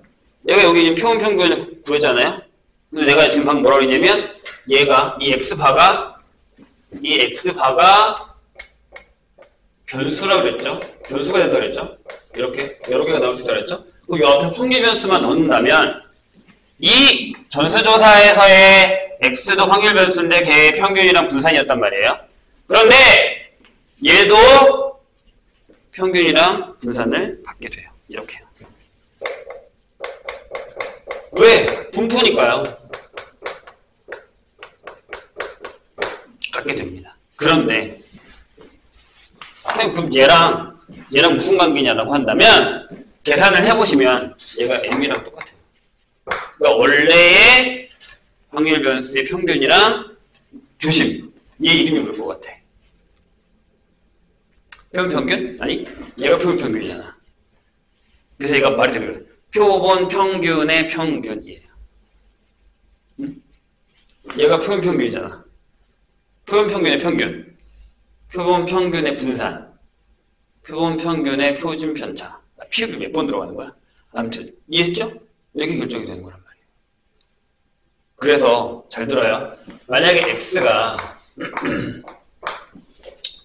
보통 여기는 정규분포를 줘요. m의 시그마의 제곱을 따르잖아요. 그러면 확률 변수 x 봐도 즉 표본 평균 얘가 정규분포를 따르면 얘도 정규분포를 따라요. 여기는 이항분포로 선생님이 예를 들었지만 그래서 얘가 얘도 정규분포를 따르는데 조심해야 되는 게 그럼 얘도 선생님 제 시그마랑 똑같아요? 라고 하면 아니요. 책에 보면 이렇게 적혀 있어요. n분의 시그마 이렇게 적혀 있어요. 아, 예, 제곱 이렇게 책에 보세요. 여기 밑에 n분의 제곱마 n, 아, n분의 시그마 제곱 이렇게 써 있어요. 근데 이건 미안하지만 우리 입장에서 증명 안 해요. 내가 그때 얘기했잖아. 통계는 선생님 딱 정확해요. 고등학교 때의 개념, 그 다음에 통계학과의 개념 딱 정확한데 이건 그 선을 넘지 않고 그냥 이렇게 하기로 한 거예요. 근데 이건 예를 들어서 아니 예를 들이라보다는 선생님이 그냥 보편적으로 설명해 줄게요. 잘 들어봐요.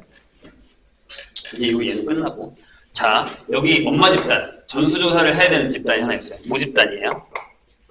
아까 내가 뭐라 그랬어요? 랜덤으로 뽑는다 그랬죠.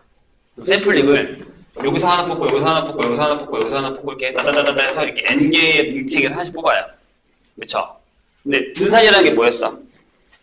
잘 생각해봐. 분산이라는 건 평균이 여기 있으면 얼마만큼 퍼져 있냐였어요. 기억이 나시죠? 그쵸? 그지? 근데 내가 어떻게 했냐면 여기서 하나 가져오고 여기서 하나 가져오고 여기서 하나 가져오고 여기서 하나 가져오고 랜덤으로 하나씩 가져왔어요. 그 분산이 뭐가 더 크겠니? 전체적인 게 더 크겠죠. 모집단은 평균이 여기 딱 있으면 이만큼 펼쳐졌단 말이에요. 근데 내가 거기서 샘플만 뽑아왔단 말이야. 그치? 인계만 딱 정확하게 뽑았단 말이야. 그럼 걔네 분산은요? 당연히 작겠죠. 얼마만큼? n만큼. 그렇게 생각하시는 게 가장 좋아요. 무조건 제가 크지. 모집단인데. 그럴 거 아니에요. 선생님 얘기 이해되세요? 그렇게 생각하셔야 된다고. 무조건 모집단의 분산이 커요. 왜? 쟤는 어마어마한 집단이에요. 근데 그 샘플 작업만 내가 한 거란 말이야. 이렇게요. 그럼 이제 이게 이해가 돼요. 잘 들으세요. 얘는 뭐라고요? n개만 가져와서 뭐 한 거예요? 분산을 한 거예요. 그럼 제가 크다고요? 얘가 크다고요? 제가 크다고요. 제가 크다고요. 그래서 제와의 차를 줄이기 위해 n-1로 나눕니다. 그럼 거의 근사값이에요. n으로 나누니까 이게 너무 작아. 왜? 샘플 작업을 해서 계산을 한 거니까. 이해하셨죠? 이 정도로 이해하시면 됩니다.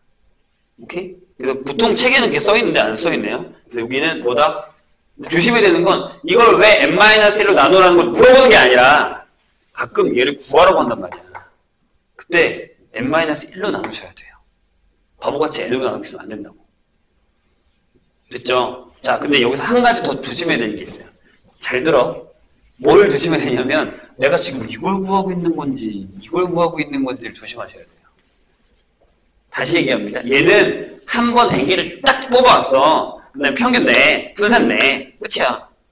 근데 얘는 저렇게 아까처럼 1, 1 뽑아오고 1, 2 뽑아오고 1, 3 뽑아오고 이게 여러 개 뽑아왔어. 그게 이런 변수야. 그럼 얘의 분포를 한 게 이 녀석이야.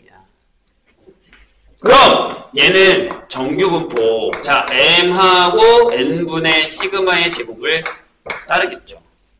책에 이렇게 쓰여 있어요. 103페이지에.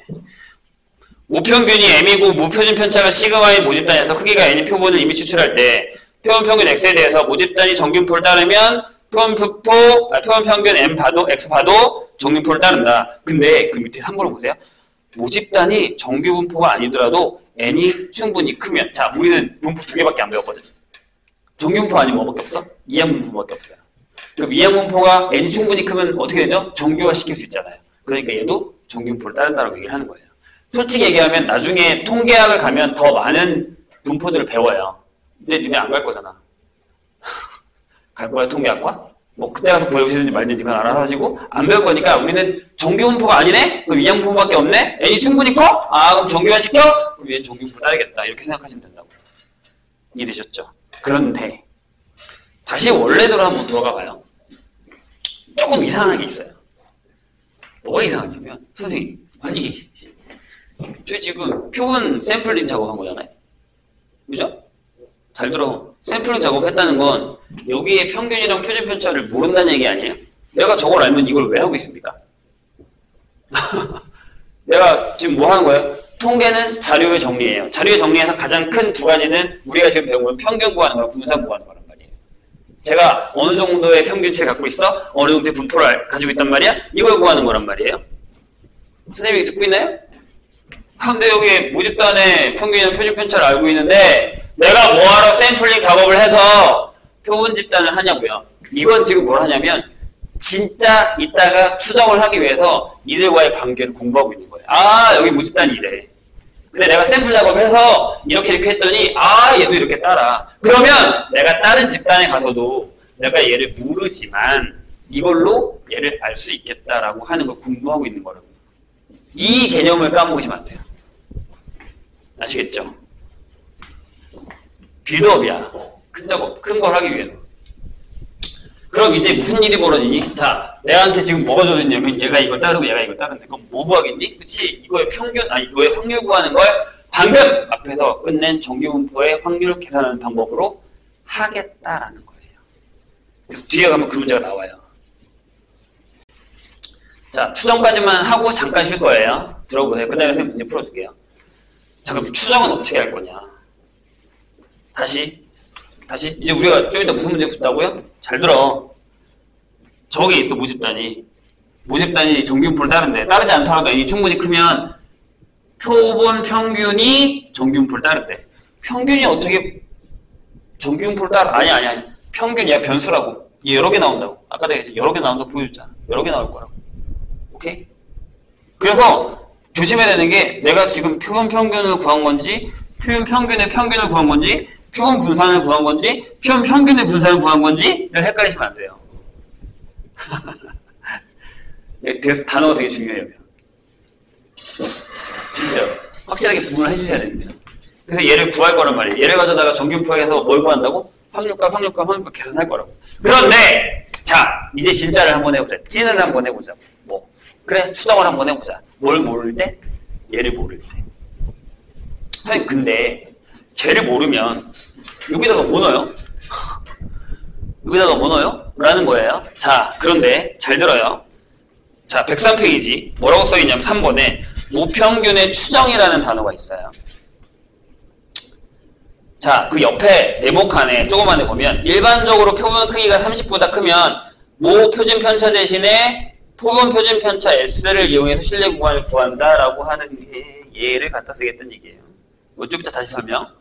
자, 다시 본론으로 들어와서 모평균의 추정, 추정!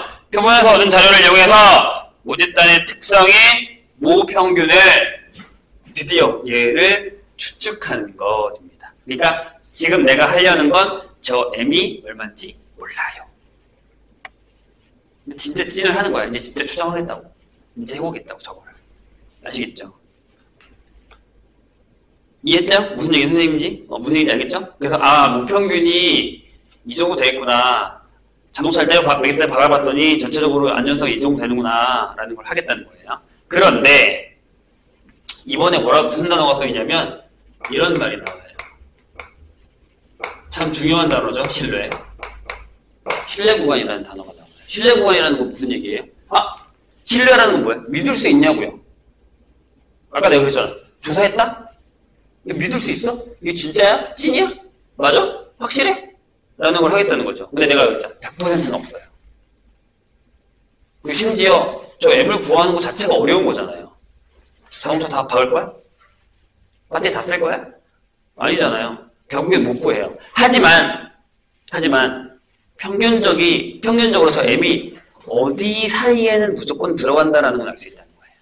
어느 구간 안에 있을 거야. 이렇게. 그래서 그 구간이 여기에요. 신뢰 구간이에요. 그럼 몇 퍼센트를 믿을 수 있어? 라고 하는 게 신뢰도라는 말이 나와요. 신뢰도.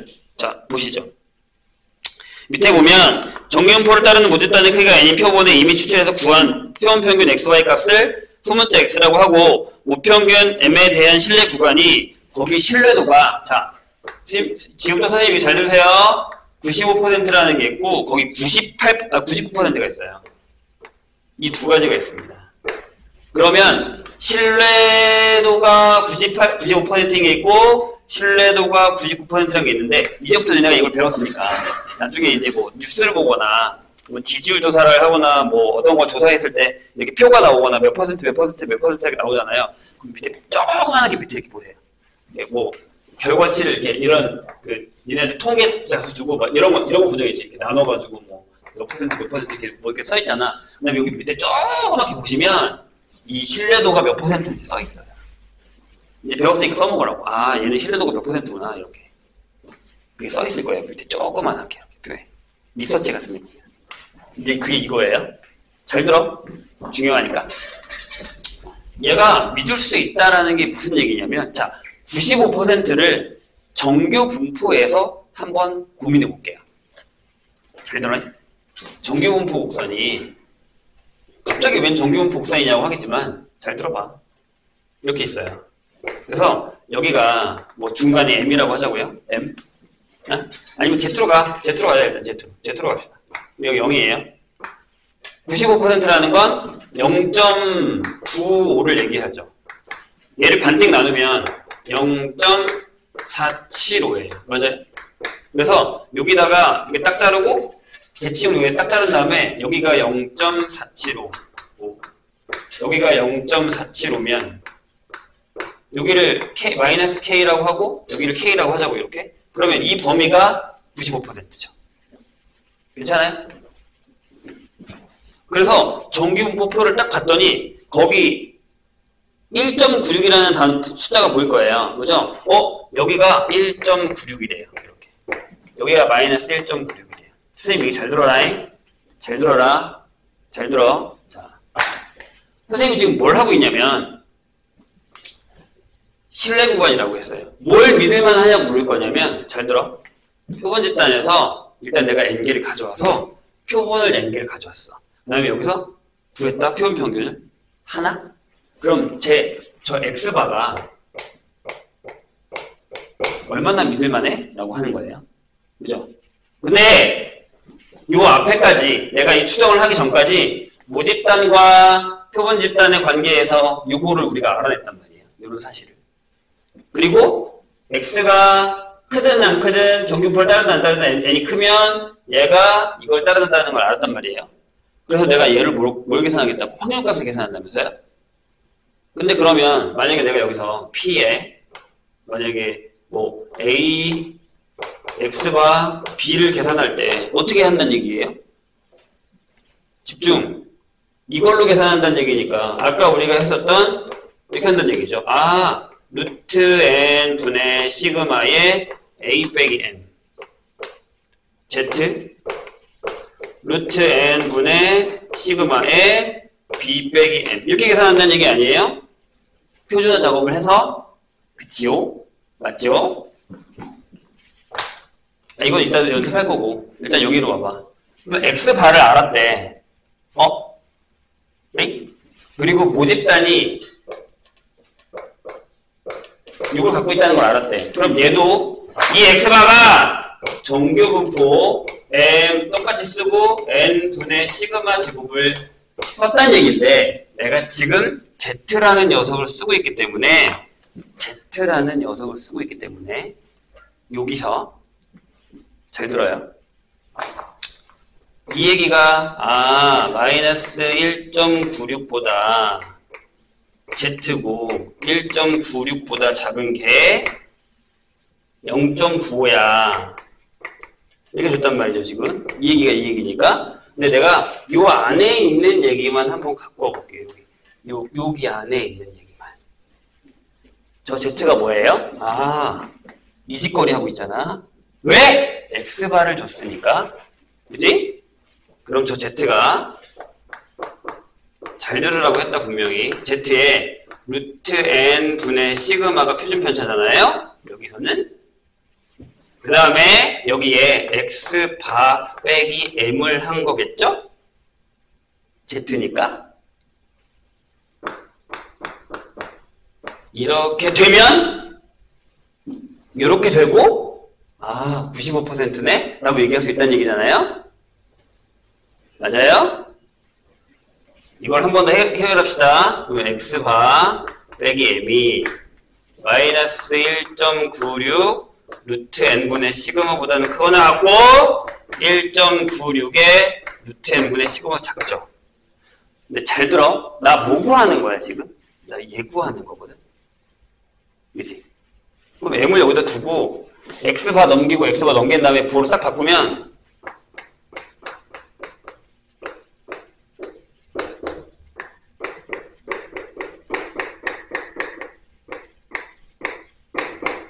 이렇게 된다는 얘기네요. 자, 그럼 잘 들어. 다시. 나 지금 뭐 하고 있다고?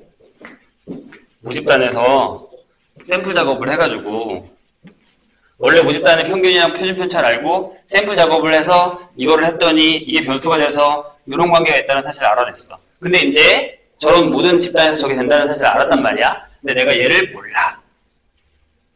샘플 작업을 했어. 내가 구한 게 뭐야? 나 이거 구했다니까. N개 끄집어내서 평균 냈다고. 표본 평균을 구했다고. 그럼 질문이 뭐냐면 저 표본 평균이 얼마만큼 믿을 수 있어?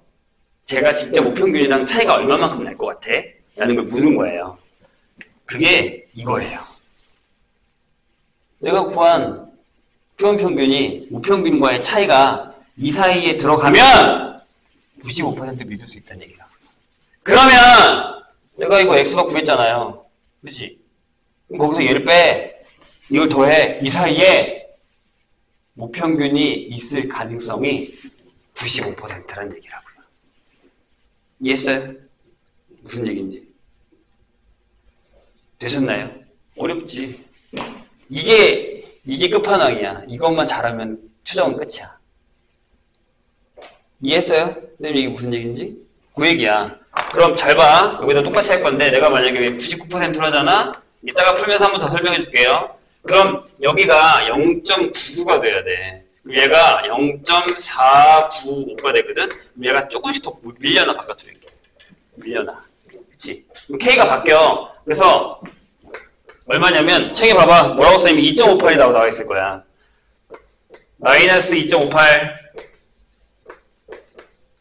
Z 2.58이 0.99가 된다고 그럼 여기가 99%면 여기만 숫자가 바뀌는 거야 2.58에 루트 n분의 시그마 m x바 더하기 2.58에 루트 n분의 시그마 이렇게 결정이 된다는 거죠.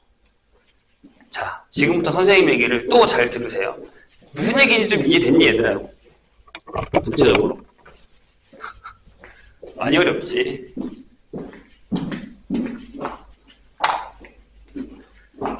갑자기 왜 정규분포가 나왔냐는 건데 x바가 다른 데서 모집단과 x바의 관계를 구했더니 요게 성립한다는 사실을 알아냈다고요. 그런 다음에 내가 이제 모집단을 몰라요. 그럼 요 관계가 있다는 사실을 알았으니까 내가 x바를 구해놓은 다음 x바는 무조건 정규분포를 따를 테니 x바가 정규분포를 따른다고 생각하고 내가 아직 여기 m을 모른다고 생각했을 때 어? 얘네 관계에서 95% 99%를 정규분포로 나타내고 그게 표준화 작업에서 이렇게 되니까 Z자리에 X바가 이거면 얘가 들어갈 거다라는 얘기죠. 그래서 M의 범위, 즉 내가 구하지 못한 모 집단의 모평균에 대한 범위를 내가 지금 구한 표현평균의 오차 사이에 집어넣겠다는 얘기예요.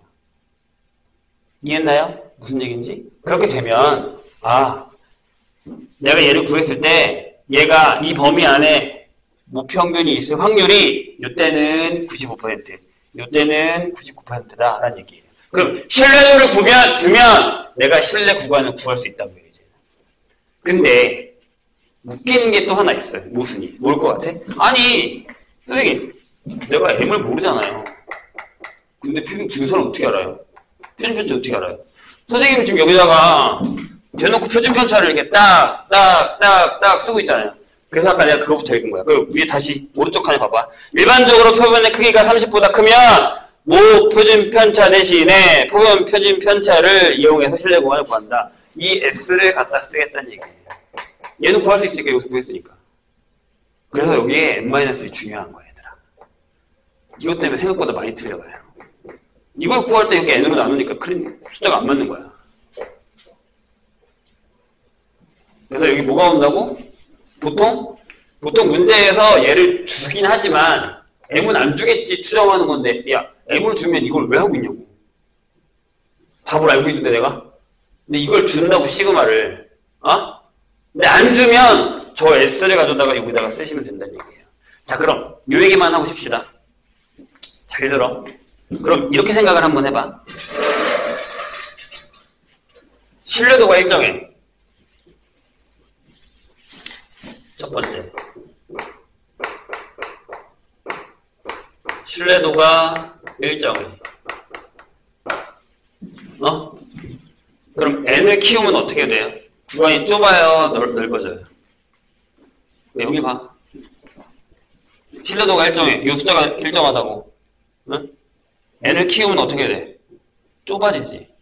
왜? 분모가? 분모가 커지니까. 근데 이상하지 않아? 선생님, n이 크면 더 확실해지는 거 아니에요? 그치? 더 확실해지니까 좁아져도 된다고. 그렇게 이해를 하셔야 돼요. 어? 왜? 신뢰도는 일정하니까요. 숫자가 더 늘면 좁아져도 신뢰도는 일정하다는 얘기라고. 이해했어요? 어. n이 커지면 구간은 좁아진다. 반대겠죠? n이 작아지면 n이 작아지면 구간이 넓어진다. n이 작다라는 건 그만큼 불투명하다는 거니까 구간을 더 넓혀야지. 그래야 좀 더 확실해지잖아. 그렇게 생각하셔야 돼요. 두 번째, n을 일정하게 잡아요.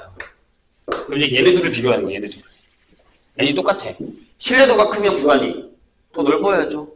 같은 얘기야.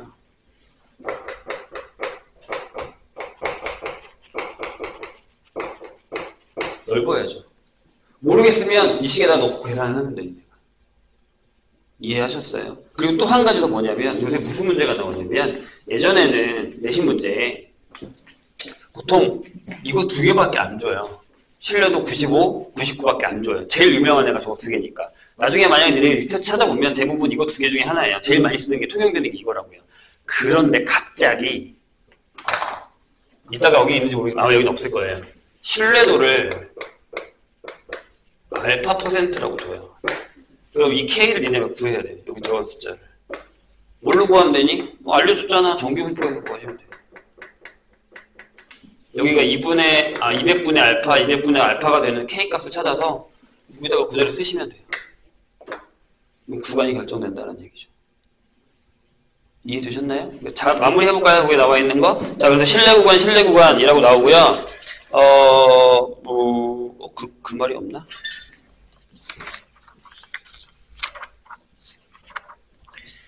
뒤에 문제를 보면 알겠죠? 신뢰 구간, 신뢰 구간, 신뢰 구간. 어? 그 단어가 없어?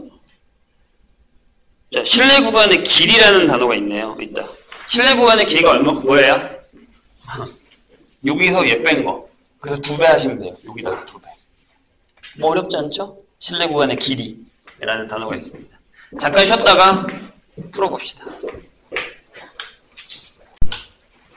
모집단에는 x가 있고 m이 있고 시그마의 제곱이 있어. 여기서 n개를 가져왔다. 여기는 표본 평균이 있고 s제곱이 있고 s가 있겠지. 근데 이 변수를 가져다가 평균을 표본 평균의 평균을 내면 얘가 m이고 표본 평균의 분산을 하면 이게 n분의 시그마 제곱이고 표본 평균의 표준 편차는 이렇게 된다라는 거. 이고 그 다음에 x가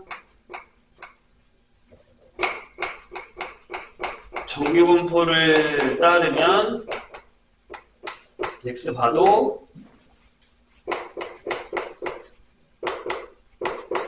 이거를 따른다. 라는 얘기죠 좀 전에 설명한 게 저겁니다. 자 1-1을 볼까요? 이렇게 써 있어. 모평균이 200 모분산이 25인. 모 집단에서 크기가 100인. 표본, 표본을 이미 추출할 때 표본 평균 x바의 평균이니까 얘를 구하는 거야 얘는 똑같다고 얘가 200이라고 그 다음에 이거의 분산을 표준 편차네 표준 편차를 구하면 루트 100분의 5일 거예요. 그래서 2분의 1이다. 이런 얘기가 되겠죠. 괜찮나요?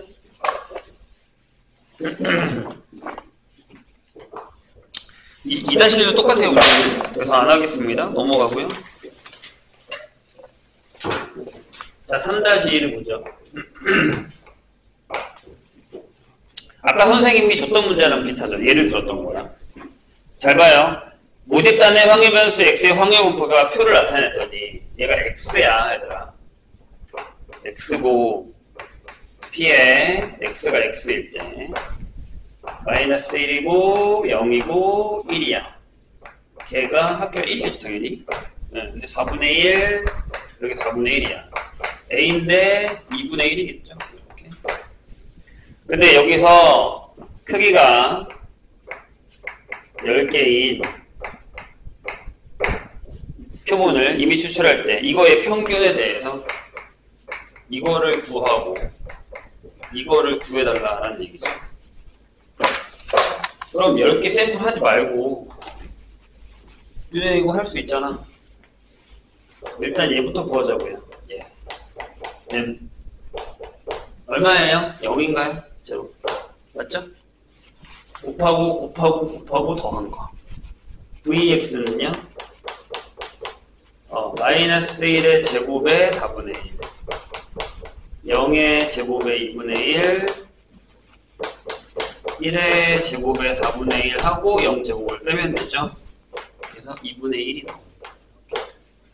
그럼 얘는 얼마야? 얘는 똑같이 0이야. 얘는 그럼 얼마야? 얘 뭐라 그랬어 내가? n분의 시그마 제곱이라고 그랬지? n이 10이야. 그럼 얘는 20분의 1이 되는 거지. 이런 얘기예요. 뭐로 구한 다음에 뭐로 구한 다음에 구하라. 이런 얘기예요.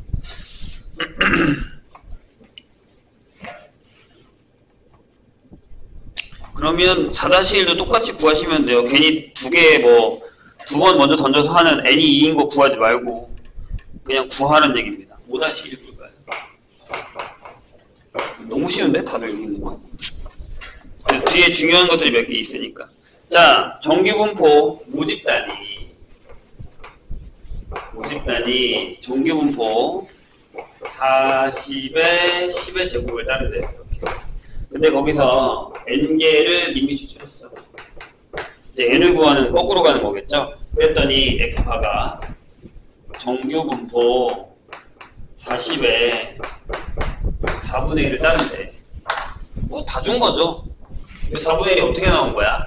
그렇지? n분의 10의 제곱을 했더니 얘가 4분의 1이라는 얘기잖아요. 몇 개 몇 개 뽑았죠? 400개를 뽑았다는 얘기죠. 쪽에다 써 있어, 얘들아. 아까는 다 알려준 거예요. 어, 이거는 그냥 익히시면 됩니다. 자, 이제 6-1 풀어봐야겠죠. 6-1이 실질적인 문제라고 생각하시면 돼요. 자, 어느 학교 학생들이 등교하는데 걸리는 시간은 등교하는데 걸리는 시간 요게 x일 거예요. 확률 x. 근데 걔가 평균이 50분, 표준 편차가 10분인 정규 분포를 따른대요. 이 학교 학생 중에서 25명을 임의로 추출할 때 등교할 때 걸리는 시간의 평균이 등교할 때 걸리는 시간의 평균이 뭐예요? 53분 이상일 확률을 구하라 라는 얘기죠. 되세요? 네, 말을 이렇게 쓸 수 있어야 돼요. 그럼 다 같이 봅시다. 무집단의 확률 변수가 얘를 따라 그러면 x반은 뭘 따라? 정규 분포 여긴 똑같을 거라고 100을 25로 나눌 거야 여기 2의 제곱이겠지 이렇게 괜찮아요? 응. 그러면 얘는 어떻게 풀어? 어 얘는 이렇게 가야지. 이걸로 가져가는 거잖아 x반이니까. 그래서 거기 그 말이 중요해. 등교할 때 걸리는 시간의 평균이 시간의 평균이 라고 나왔으니까 그게 중요한 거예요. 그래서 여기는 네. 이걸로 계산하니까 여기가 2분의 여기서 얘 뺐으니까 쓸게. 53 빼기 50 Z. 이렇게 되죠 그래서 P의 1.5보다 Z가 클 확률을 풀었어요. 1.5까지가 그거니까 제가 0.5 빼기 이렇게 결정이 되겠죠. 그러니까 이거는 정규분포에서 문제 풀이를 그대로 갖다 썼다라는 얘기입니다. 저런 걸 잘 할 수 있어야 돼요. 근데 이제 이게 나중에 니네가 이 문제를 섞어놓으면 무슨 일이 벌어지냐면 아 그냥 이게 정규 분포로 푸는 건지 아니면 포, 표본으로 계산을 하고 있는 건지 그게 헷갈릴 수 있어요. 그런 것들이 좀 많이 어려울 거예요 나중에. 자 7-1 볼까요?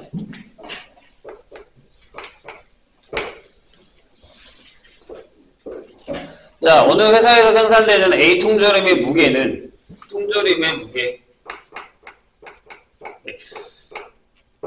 X는 평균이 45 표준 편차가 6인 정규 분포를 따른답니다. 이거를 따른답니다. 오른쪽 정규 분포를 이용해서 이 회사에서 이 회사에 생산되는 A 통조림 A 통조림 중에서 임의 추출로 4개 4개 를 끄집어봤을 때 무게의 평균이 무게의 평균이 얘가 46.5 이상일 확률을 구하라 라는 겁니다. 똑같은 문제죠. 근데 이제 이렇게 쓸 수 있냐고. 자, 다시요. x바가 그럼 뭐라고? x반은 정규분포. 여긴 똑같다니까. 이렇게 되겠죠. 돼요? 왜 계산하면 되죠? B에 3분의 뺐으니까 1.5 z로 바꾸고 0.5잖아요. 그죠? 0.5보다 클 확률이니까 0.5에서 1, 0.192로 빼시면 됩니다.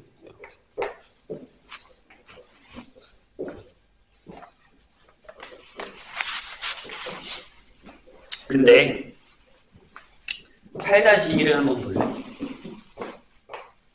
좀 어려워졌어요. 8-1 뭐라고 되어 있냐면 어느 귤 농장에서 재배되는 귤 한 개의 무게. 귤 한 개의 무게를 x라고 하면 내가 얘기했다. 바꾸라고. 평균이 80이고 표준 편차가 5래요. 정규 분포 평균이 80이고 표준 편차가 5이 정규 분포를 따른답니다 자 그런데 이 농장에서는 귤을 한 상자에 100개씩 포장해서 판매를 하는데 포장 상자의 무게를 포함한 무게가 포장 상자의 무게가 500이에요. 거기 써 있습니다. 무게가 8,450g 미만이면 불합격으로 처리한답니다. 그래서 재포장한대요. 이 농장에서 재배된 귤 100만 개를 포장할 때 중량 미달로 불합격 처리되어 재포장될 상자의 개수를 오른쪽 정규분포표를 이용해서 구한 것은입니다. 이해되세요? 뭐가 어려워요?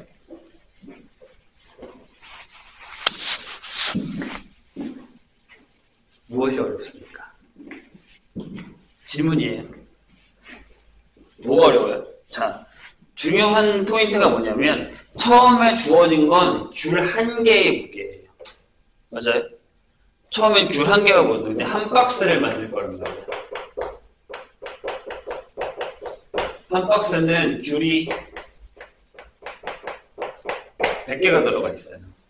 거기 귤 100개를 포장해서 판매하는데 포장 상자의 무게를 포함한 무게가 포장 상자의 무게가 500이니까 500을 빼면 되죠. 그러니까 얼마? 7,950 미만이면 100개의 무게가 100개의 무게가 7,950 미만이면 뭐라고요? 불합격으로 처리하여 재포장한다 라고 되어 있어요. 근데 이건 모집단이잖아요. 근데 거기 이 농장에서 재배된 귤 100만 개를 포장할 거예요. 그러면 몇 박스가 나오는 거죠?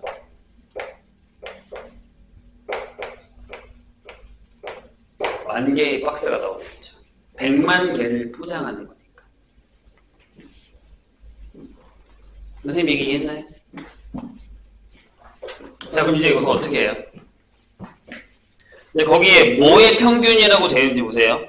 자, 포장 상자의 무게를 포함한 게 미만이면 합격품으로 처리해서 재포장한다. 이 농장에서 재배된 100만 개 포장할 때 중량 미달로 불합격 처리되어 재포장될 상자의 개수예요. 어? 상자의 개수예요.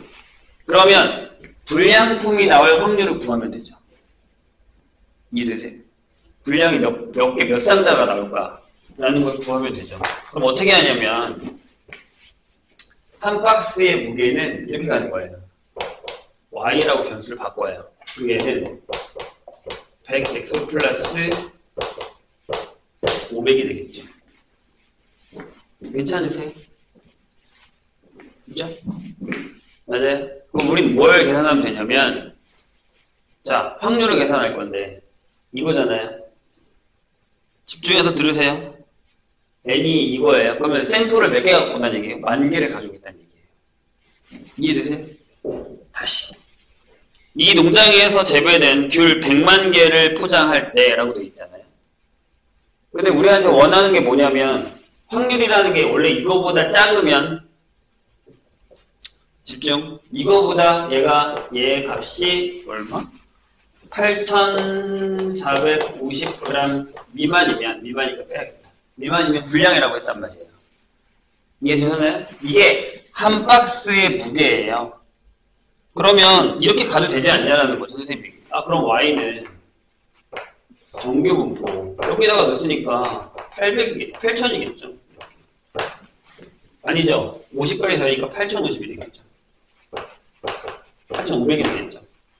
500까지 더했으니까. 이렇게 되고, 그 다음에 여기가 100이기 때문에 여기도 500의 제곱이 들어가는 상황이 됩니다. 이런 상황이 됩니다. 그럼 얘는 정규분포 이걸 따르겠죠. 아니, 배웠잖아요. 지난 시간에. 이렇게 되면 평균이 어떻게 되고 분산이 어떻게 되는지. 이해되셨나요? 무슨 얘기인지. 근데 몇 개 뽑아왔어요, 박스를? 만 박스 뽑아왔어요. 그쵸? 그럼 이거의 평균은 이겠죠. 이 평균을 계산해야 될 거 아닙니까? 평균은 뭘 따라요? 저 n이고요. 여기는 8,500 똑같아요. 되세요, 선생님 얘기? 여기는 뭐가 되죠? 자, 이걸로 나눌 거잖아요. 그럼 다시 5의 제곱이 되죠. 맞나요? 100개 제곱으로 계산했고 다시 만 개로 나눴잖아요. 루트 n분의 시그마 제곱. 그게 만 개의 박스의 평균이에요. 되셨나요? 근데 이 만 개의 박스의 평균이 얼마? 아, 미만이잖아. 8,450개 미만일 확률을 구해야죠. 그런 다음에 여기다가 만을 곱하셔야 돼요. 분량이 나올 확률이니까. 문제가 좀 어려워요. 잘 해봅시다, 계산을. 자, 그럼 얘는 뭐냐면, Z로 가면, 얼마냐면, 요게 여기서 빼면, 마이너스 50이 나와서, 마이너스 10이거든요. 근데 거기 마이너스, 15. 잠깐만, 50이니까 맞지 않아요? Z로 바꾸면, 어, 저걸로 계산이 안 되는구나. 마이너스 10으로 계산이 안 되는 건데? 잠시만요. 오, 내가 계산 뭐 잘못했니? 선생님이 계산 뭐 잘못했어요. 만 개, 오백 개, 백 개, 만 개 곱하고 맞는데? 오십 개, 팔천 오십. 5로 나누니까 맞는데? 그럼 이거 이렇게 풀면 안 된다는 얘기인데 잠시만요. 다시 x로 바꿔야 되나 본데요. 음. 아니면 문제가 잘못됐거나 z가 이렇게 나올 리가 없죠. 마이너스 10까지. 다시 할게요. 그러면 이렇게 풀면 안 되고 원래 걸로 가야 된다는 얘기네요. 근데 그러면 이게 문제가 돼야 되는데. 잠깐만요. 선생님이 뭐 계산 잘못했습니까? 8,500. 8,500이 아니야? 8,500 맞는데? 50. 네, 100으로 나누면 똑같은데.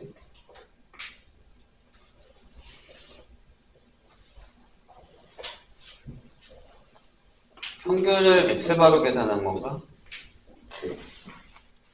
어, 잠시만요. 문제가 그렇게 더러울 리가 없는데. 한 박스 100개. 그러면 100만 개를 끄집어낸 걸로 계산을 얘기인데. 이- 그러면 안 되는데. 100만 개의 샘플을 한다고요?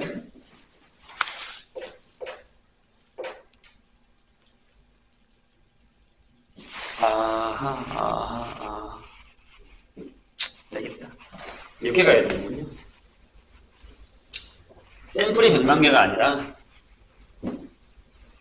처음으로 이렇게 가야 돼요.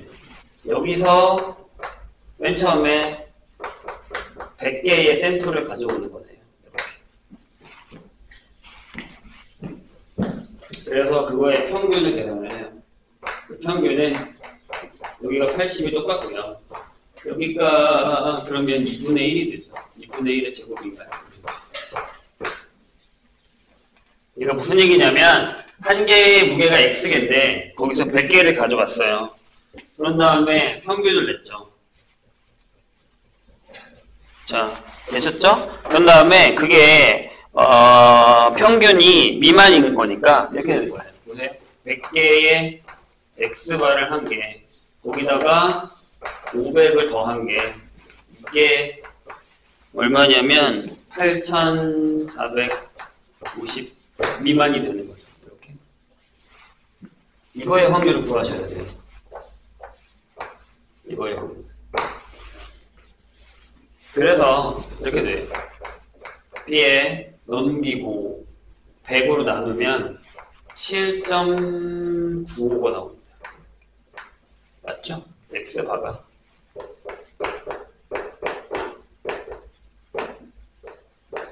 이렇게 나옵니다. 어? 아니지. 79.5. 미안해요. 큰일 날 뻔했네.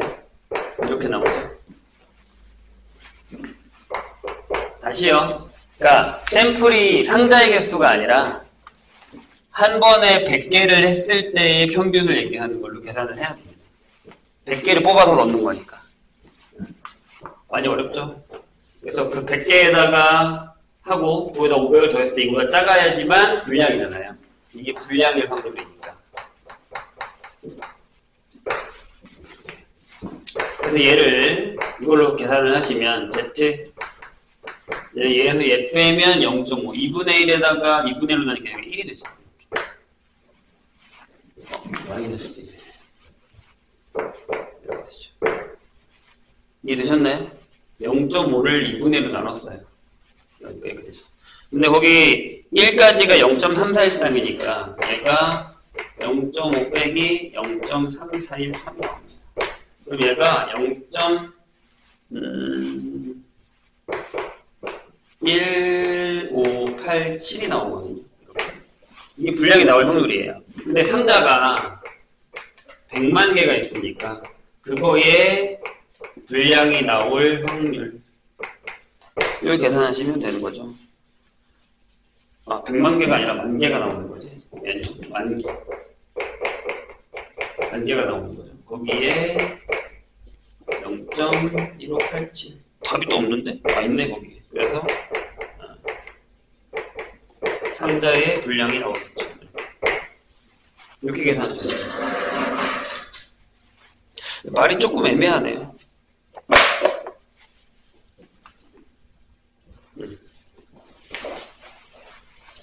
어렵죠. 이런 것들만 잘 정리를 하시면 뭐 뒷부분은 할만합니다. 자, 그 다음에 뭐 9-1은 계산하시면 되고요. 10-1 볼까요?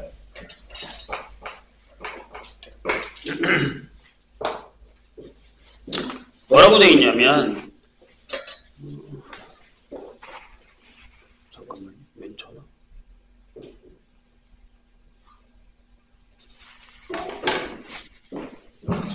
자, 10-1에 뭐라고 되어 있냐면 어느 학교 학생들의 몸무게는 이번엔 몸무게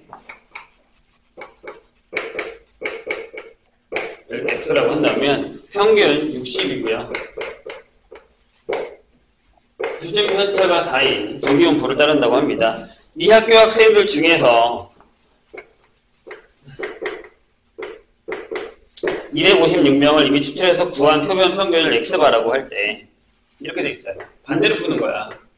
X바가 K보다 작을 확률이 0.014보다 작게 되는 K의 최대값을 오른쪽 정기분포표를 이용해서 구하는 것을 해드립니다.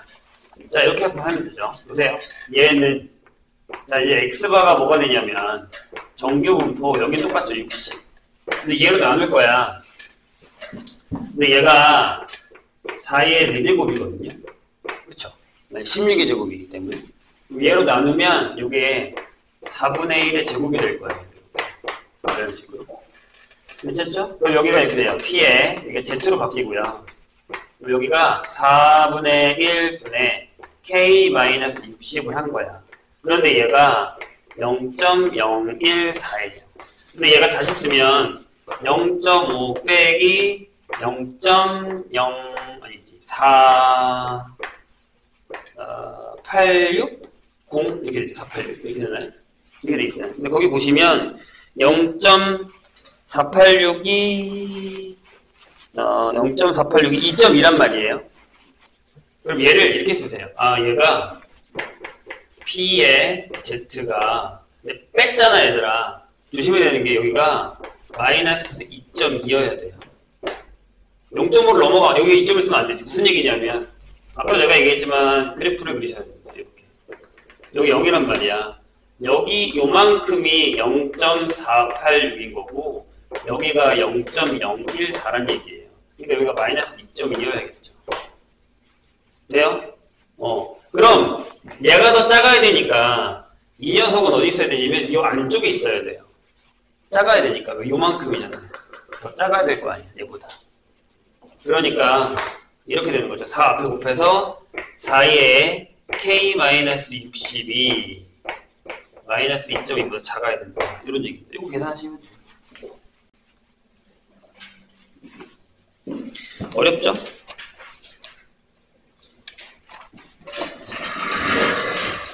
자, 이제 추정을 한번 해봅시다. 추정.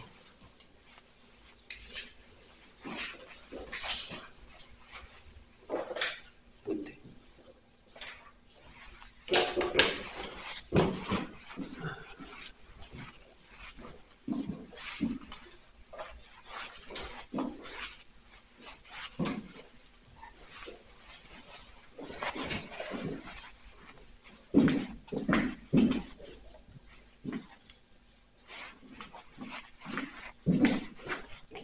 혹시 많이 어려우세요?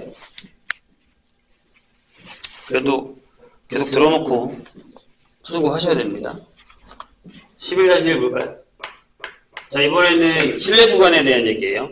표준 편차가 6인 정규분포를 따르는 자, 어, 정규분포인데 M은 몰라요. 근데 여기가 6일입니다. 시그마가 6인 정규분포를 따르는 모집단에서 크기가 N인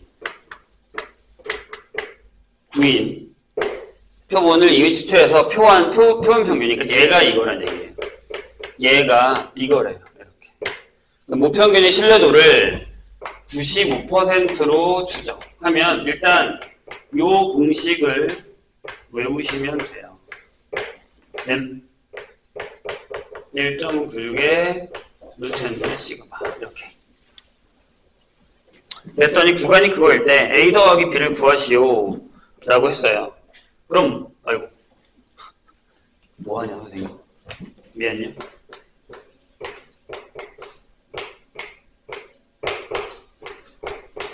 이렇게 되겠죠?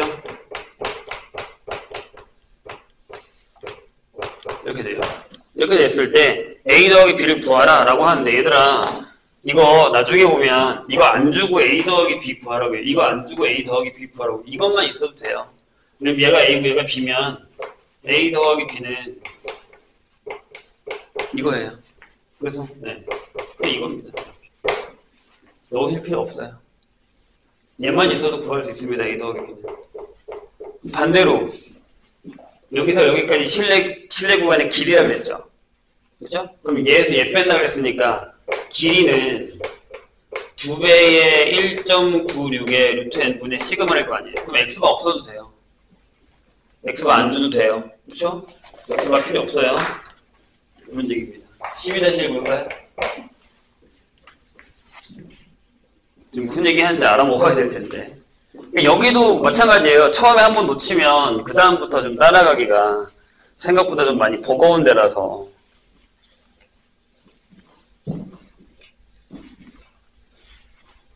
한 번 멍해지면 따라가기 쉽지 않습니다. S회사에서 생산되는 최신형 MP3 플레이, 오, MP3.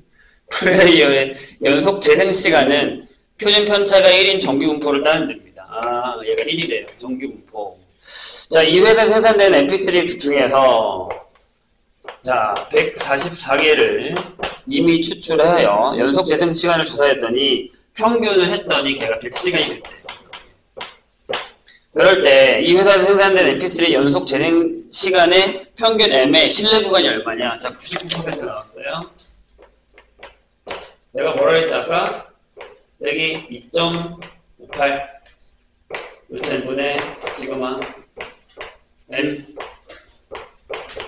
X가 더하기 2.58 거기 어? 3으로 줬어요.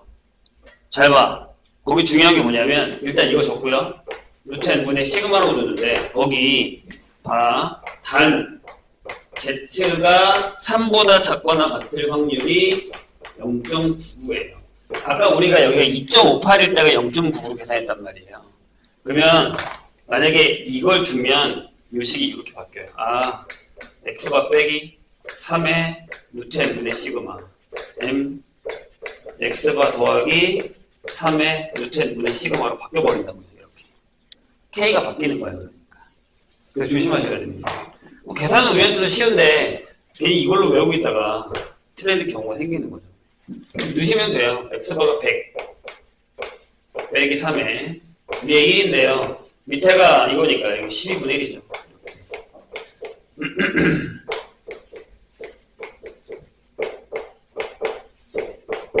이렇게 계산하시면 됩니다. 답이 2번이겠네요. 0.25 빼고 0.25 더하고 이렇게. 야, 저거 조심해야 돼. P를 뭘로 주냐, 확률이. 99%일 때. 그래서 아까 선생님이 적용폭 복사에 대한 얘기를 한 겁니다.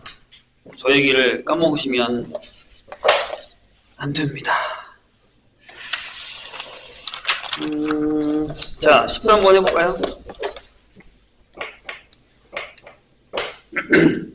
또 마지막 아까도 얘기했지만 마지막이라고 또 안 풀지 말고 풀어보고 나중에 선생님이 한 다음 주나 화요일 날이나 아니면 이번 주 주말에도 괜찮고요. 내가 톡 올릴 테니까 질문하세요라고 올릴 테니까 하세요. 자, 13-1 어느 논에서 벼 이삭이 100개를 이미 추출해서 그 나달의 개수를 조사했더니 나달 자, n은 100개인 것 같고요. 나달의 개수를 조사했더니 걔가 평균 나달 평균이 100알 표준 편차가 20일 정규분포를 따른다고 합니다. 그러니까 여기는 이미 이걸 준 거다. 이렇게 이렇게 준 거다. 전- 이 논에서 자란 뼈 이삭의 평균 나날수 m을 실려도 95 이상하지 않아요? 뭐래요? 아, 이거 피한 거야 얘들아. 잘 봐. 조심해야 돼. 조심해야 되는 게 뭐냐면 잘 보세요. 이게 말이 되게 위험한 게 100개를 이미 추출했잖아. 그러면 나달의 개수의 평균이라는 게, 아, 이게 이거란 얘기예요. 그리고 표준 편차가, 그러니까 이게 20이라는 얘기예요. 내가 얘기했잖아. 처음에는 이거 M이랑 시그마를 모른다고. 이렇게. 그럼 시그마 대신에 이거 쓰라고 했잖아. S. 그러니까 95%로 추정했어요. 어, 근데 또 그거 써있다. P의 Z의 절대값이 2보다 작거나 같을 확률을 0.95로 하겠다. 이렇게. 그럼 이렇게 되겠죠. 한 번 더 써. X바 빼기 2니까 2에 루트 100분의 N분의 시그마인데 여기 S가 들어갈 거라고요, 이제. 시그마를 안 줬으니까.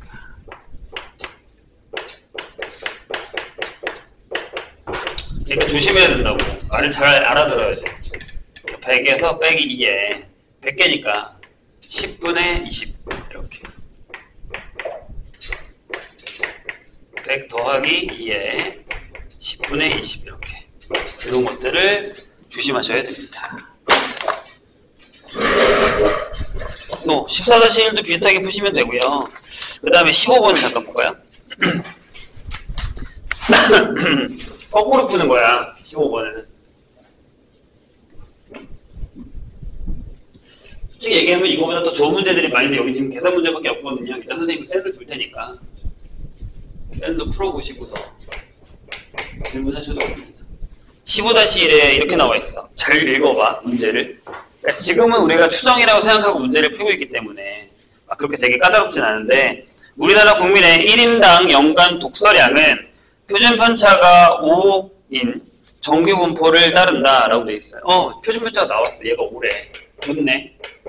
자, 임의로 n명을 뽑아서 조사했대. 그러니까 n이 얼마인지 안 준 거예요. 얘가 아마 질문일 거야. 그 다음에 평균 독서량이 13.2권이래요. 우리나라 전체 1인당 연간 독서량의 평균 M의 신뢰도를 99%로 추정했을 때 2.58이네요, 거긴. 그쵸? 어, 신뢰 구간이 이렇게 나왔다는 거야. 3, 4 M 06 이렇게 해요. 이렇게 돼 있다고요. n의 값이 얼마냐라는 건데 얘들아 생각보다 쉬워. 얘가 1.3이잖아. 근데 이 m이 어떻게 나온 거냐면 일단 공식을 하나 적어볼까? 거기 2.28로 나와 있어요. 그렇죠? 그럼 x바 빼기 2.58 하고요. 루트 n 몰라. 그 다음에 여기다가 5를 써. 이렇게.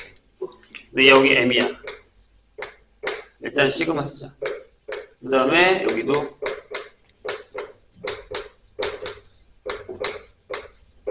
이렇게 돼 있어. 얘들아 나중에 잘 들어. 얘네 둘을 주면 얘를 안 주는 경우도 있어. 근데 x가 없이 어떻게 알아요? 내가 아까 얘기했잖아. 얘네 둘을 더한 다음에 반해봐. 얘야. 맞지? 봐. 얘랑 얘랑 더해. 맞지? 26.4잖아? 반띵. 이렇게 나온다고. 그러면 여기다 이렇게 쓰라고. 아, 여기서 얼마를 빼야 이거 나오냐? 이게 어려워? 이렇게 하면 이렇게 쓰자. 여기는 얼마를 더해야 제가 나오냐? 그거는 확실하게 알 수 있잖아. 13.2에다가 더하기 얼마 하면 돼? 어렵네. 내가 어려운 질문을 했니?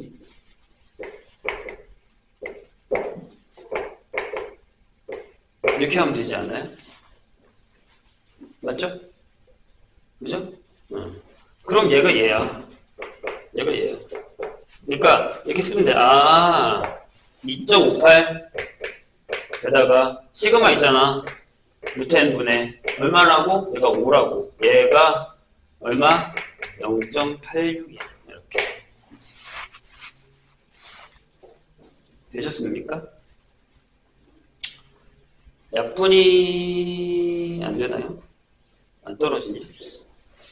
안 되나? 해보자. 여기다가 5 곱하면 어, 12.9가 되죠? 그 다음 얘가 0.86의 루트 n 이렇게 되지 않아요? 안 떨어지냐?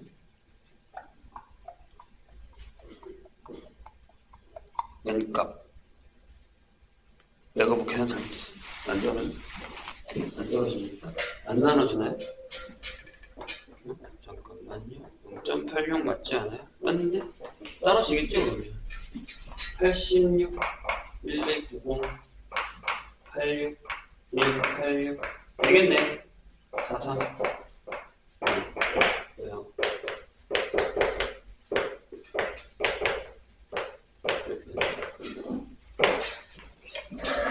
내가 여기서 되게 그 충격적인 결과를 몇 번 받은 적이 있는데 뭔지 알아요? 이렇게 나오면 괜찮다? 근데 가끔 이제 n, 루트 n을 계산할 때 이렇게 나오는 경우가 있어요. 그럼 n이 얼마야? 256이잖아. 맞지 얘들아? 근데 누군가는 답을 이렇게 쓴다라는 거죠. 본인들은 안 그럴 것 같죠? 진짜로 이런 일이 되게 많아요. 난 너무 충격적이어서. 아니, 진짜 자기도 충격을 먹고 와요. 여기까지 잘 풀거든요? 제가 여기까지 되게 잘 풀었단 말이야. 근데 왜 여기에 막 16, 16은 또 괜찮아. 64 나오잖아? 아, 그럼 바로 8이야? 미친 거 아니야? 큰일 날려고 그래. 어떻게 하려고 그래. 이러면 안 돼요. 난 분명히 얘기했다. 뭐 여기서 선생님이랑 같이 내신들이 안 할 사람도 있긴 하지만 진짜 저런 말도 안 되는 풀이를 해오면 그게 그럴 수 있어요. 사람이라는 게 되게 마음이 급하고 뭐 쫓기고 이러면 충분히 그럴 수 있긴 한데 그러시면 안 됩니다. 나 진짜 부탁할게. 어? 17-1몇 개만 더 풀고 끝낼게요. 나머지는 비슷하니까 풀어 오시면 됩니다. 다 이렇게 왔다 갔다 왔다 갔다 하는 문제인데 근데 그 문제가 없다. 내가 원하는 문제가 아 뒤에 있다 성질. 이거 하나 풀고 성질로 넘어갈게요. 길이는 다 똑같은 거니까. 자 어느 지역에서 고등학교 100명을 이미 추출해서 몸무게를 조사하였더니 표본 평균 대박 대놓고 표본 평균이라고 얘기하죠. 이렇게 쓰고 그 다음에 표본 표준 편차는 S야 얘들아 6.3이에요. 요거인 정기분포를 따른대요. 이 지역에 몸무게 고등학생 몸무게 평균에 대한 95% 실내 구간의 길이를 물었어요. 어, 1.96으로 계산한 거예요. 그럼 이걸 하잖아. 이제 안 쓸게.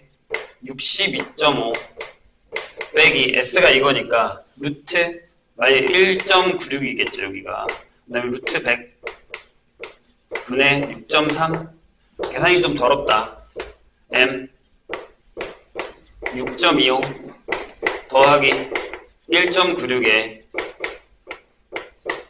이거예요. 그럼 실내 구간의 길이 얘들아 이거 곱하기 두배 하면 돼. 여기서부터 이거 뺄 거니까. 이거 두 배만 하시면 돼요.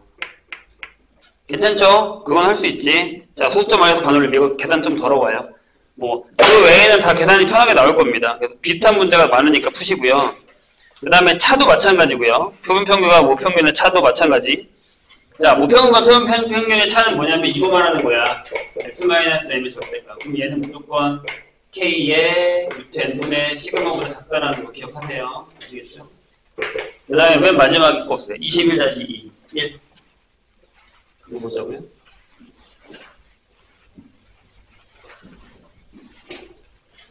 아까 선생님이 얘기했던 거야. 한번 읽어볼까요? 21-1 뭐라고 되어 있냐면 정규분포를 따르는 모집단에서 표본을 이미 추출해서 모평균을 추정할 때 모평균에 대한 신뢰 구간에서 중 옳은 것입니다. 자 아까 선생님 다 알려줬거든요. 고민을 한번 해봅시다. 신뢰도를 낮출 거야. 표본의 코끼를 크게 할 거야. 신뢰 구간의 길이는 짧아져요. 자 일단 하나만 해봐. 신뢰도를 낮추면 어떻게 돼요?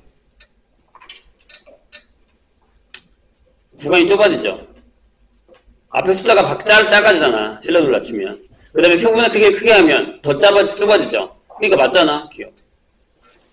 시, 이게 시, 어, 지웠네. 또그 사이에.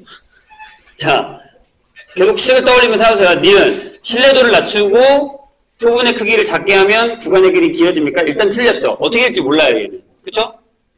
몰라. 디귿. 신뢰도가 일정해 크기를 작게 할수록 신뢰 구간의 길이는 짧아져요? 아니죠. 넓어지죠. 그쵸? 분모가 작아지는 건데 답은 기억밖에 없다라는 거예요.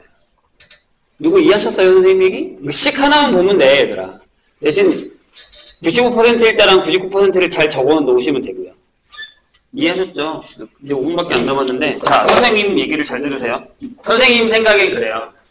이제 3월이고 계약을 하고 나면 학교 가자마자 아마 확통에 대한 커리큘럼이 나오겠죠. 그러면 잘 짜셔서 하되 어, 나는 항상 하는 얘기인데 수학은 내신 대비 기간에 하면 안 돼요.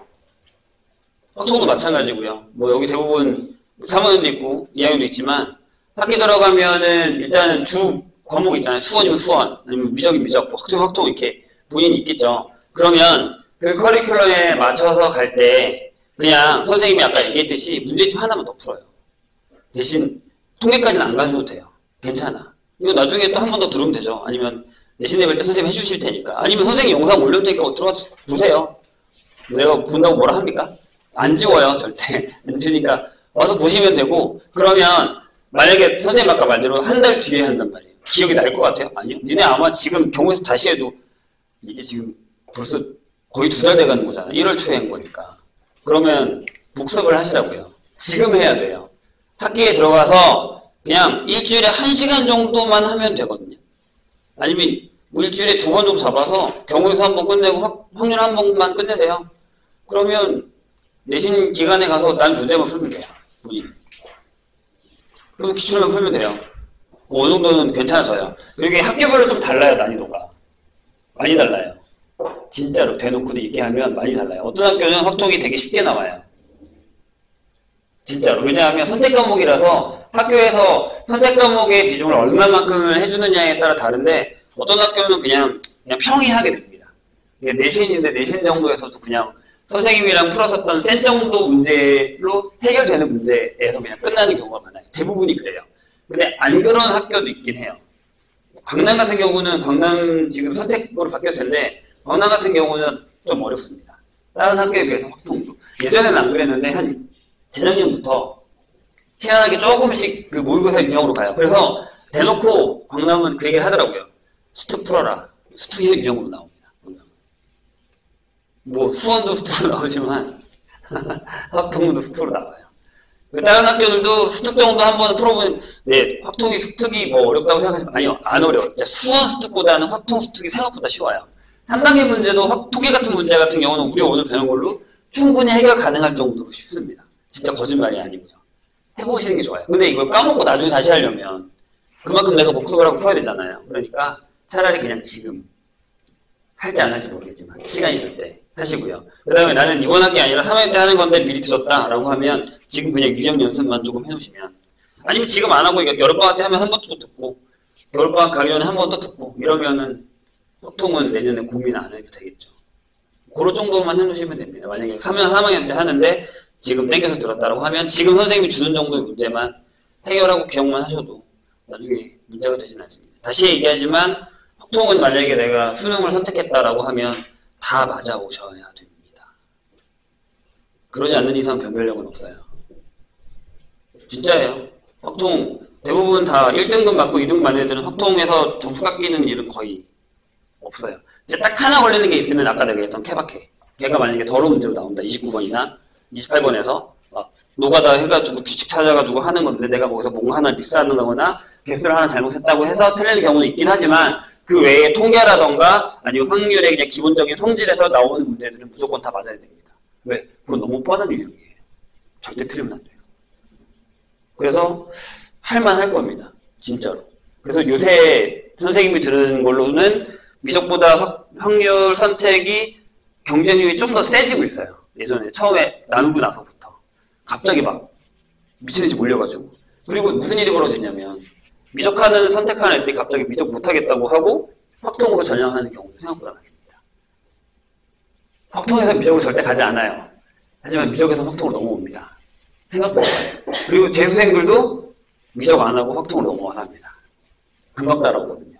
확통은 그냥 인강 몇번 들으면 내가 따라갈 수 있을 것만 같거든. 잘하는 애들. 그러니까 뭐 아까 내가 얘기했잖아요. 개념만 알면 확통은 수능 안 어렵다니까요. 그러니까 할만하지. 다 넘어와요.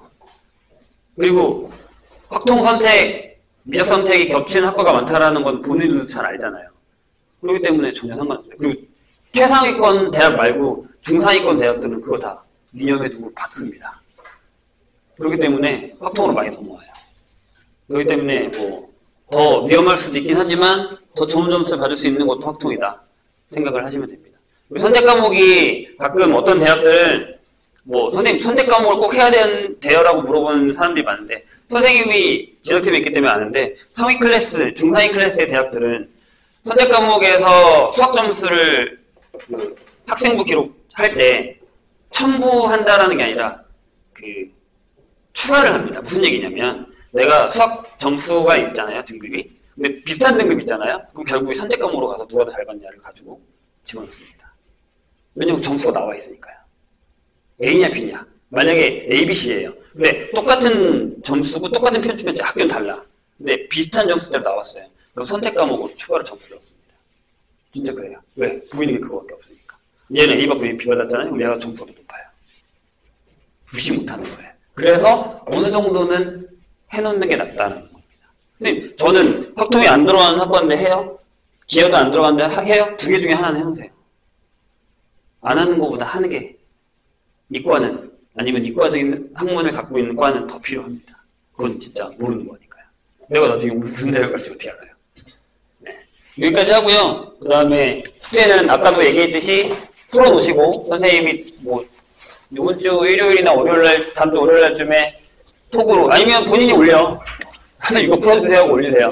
그럼 됩니다. 잠깐만 쌤 줄게.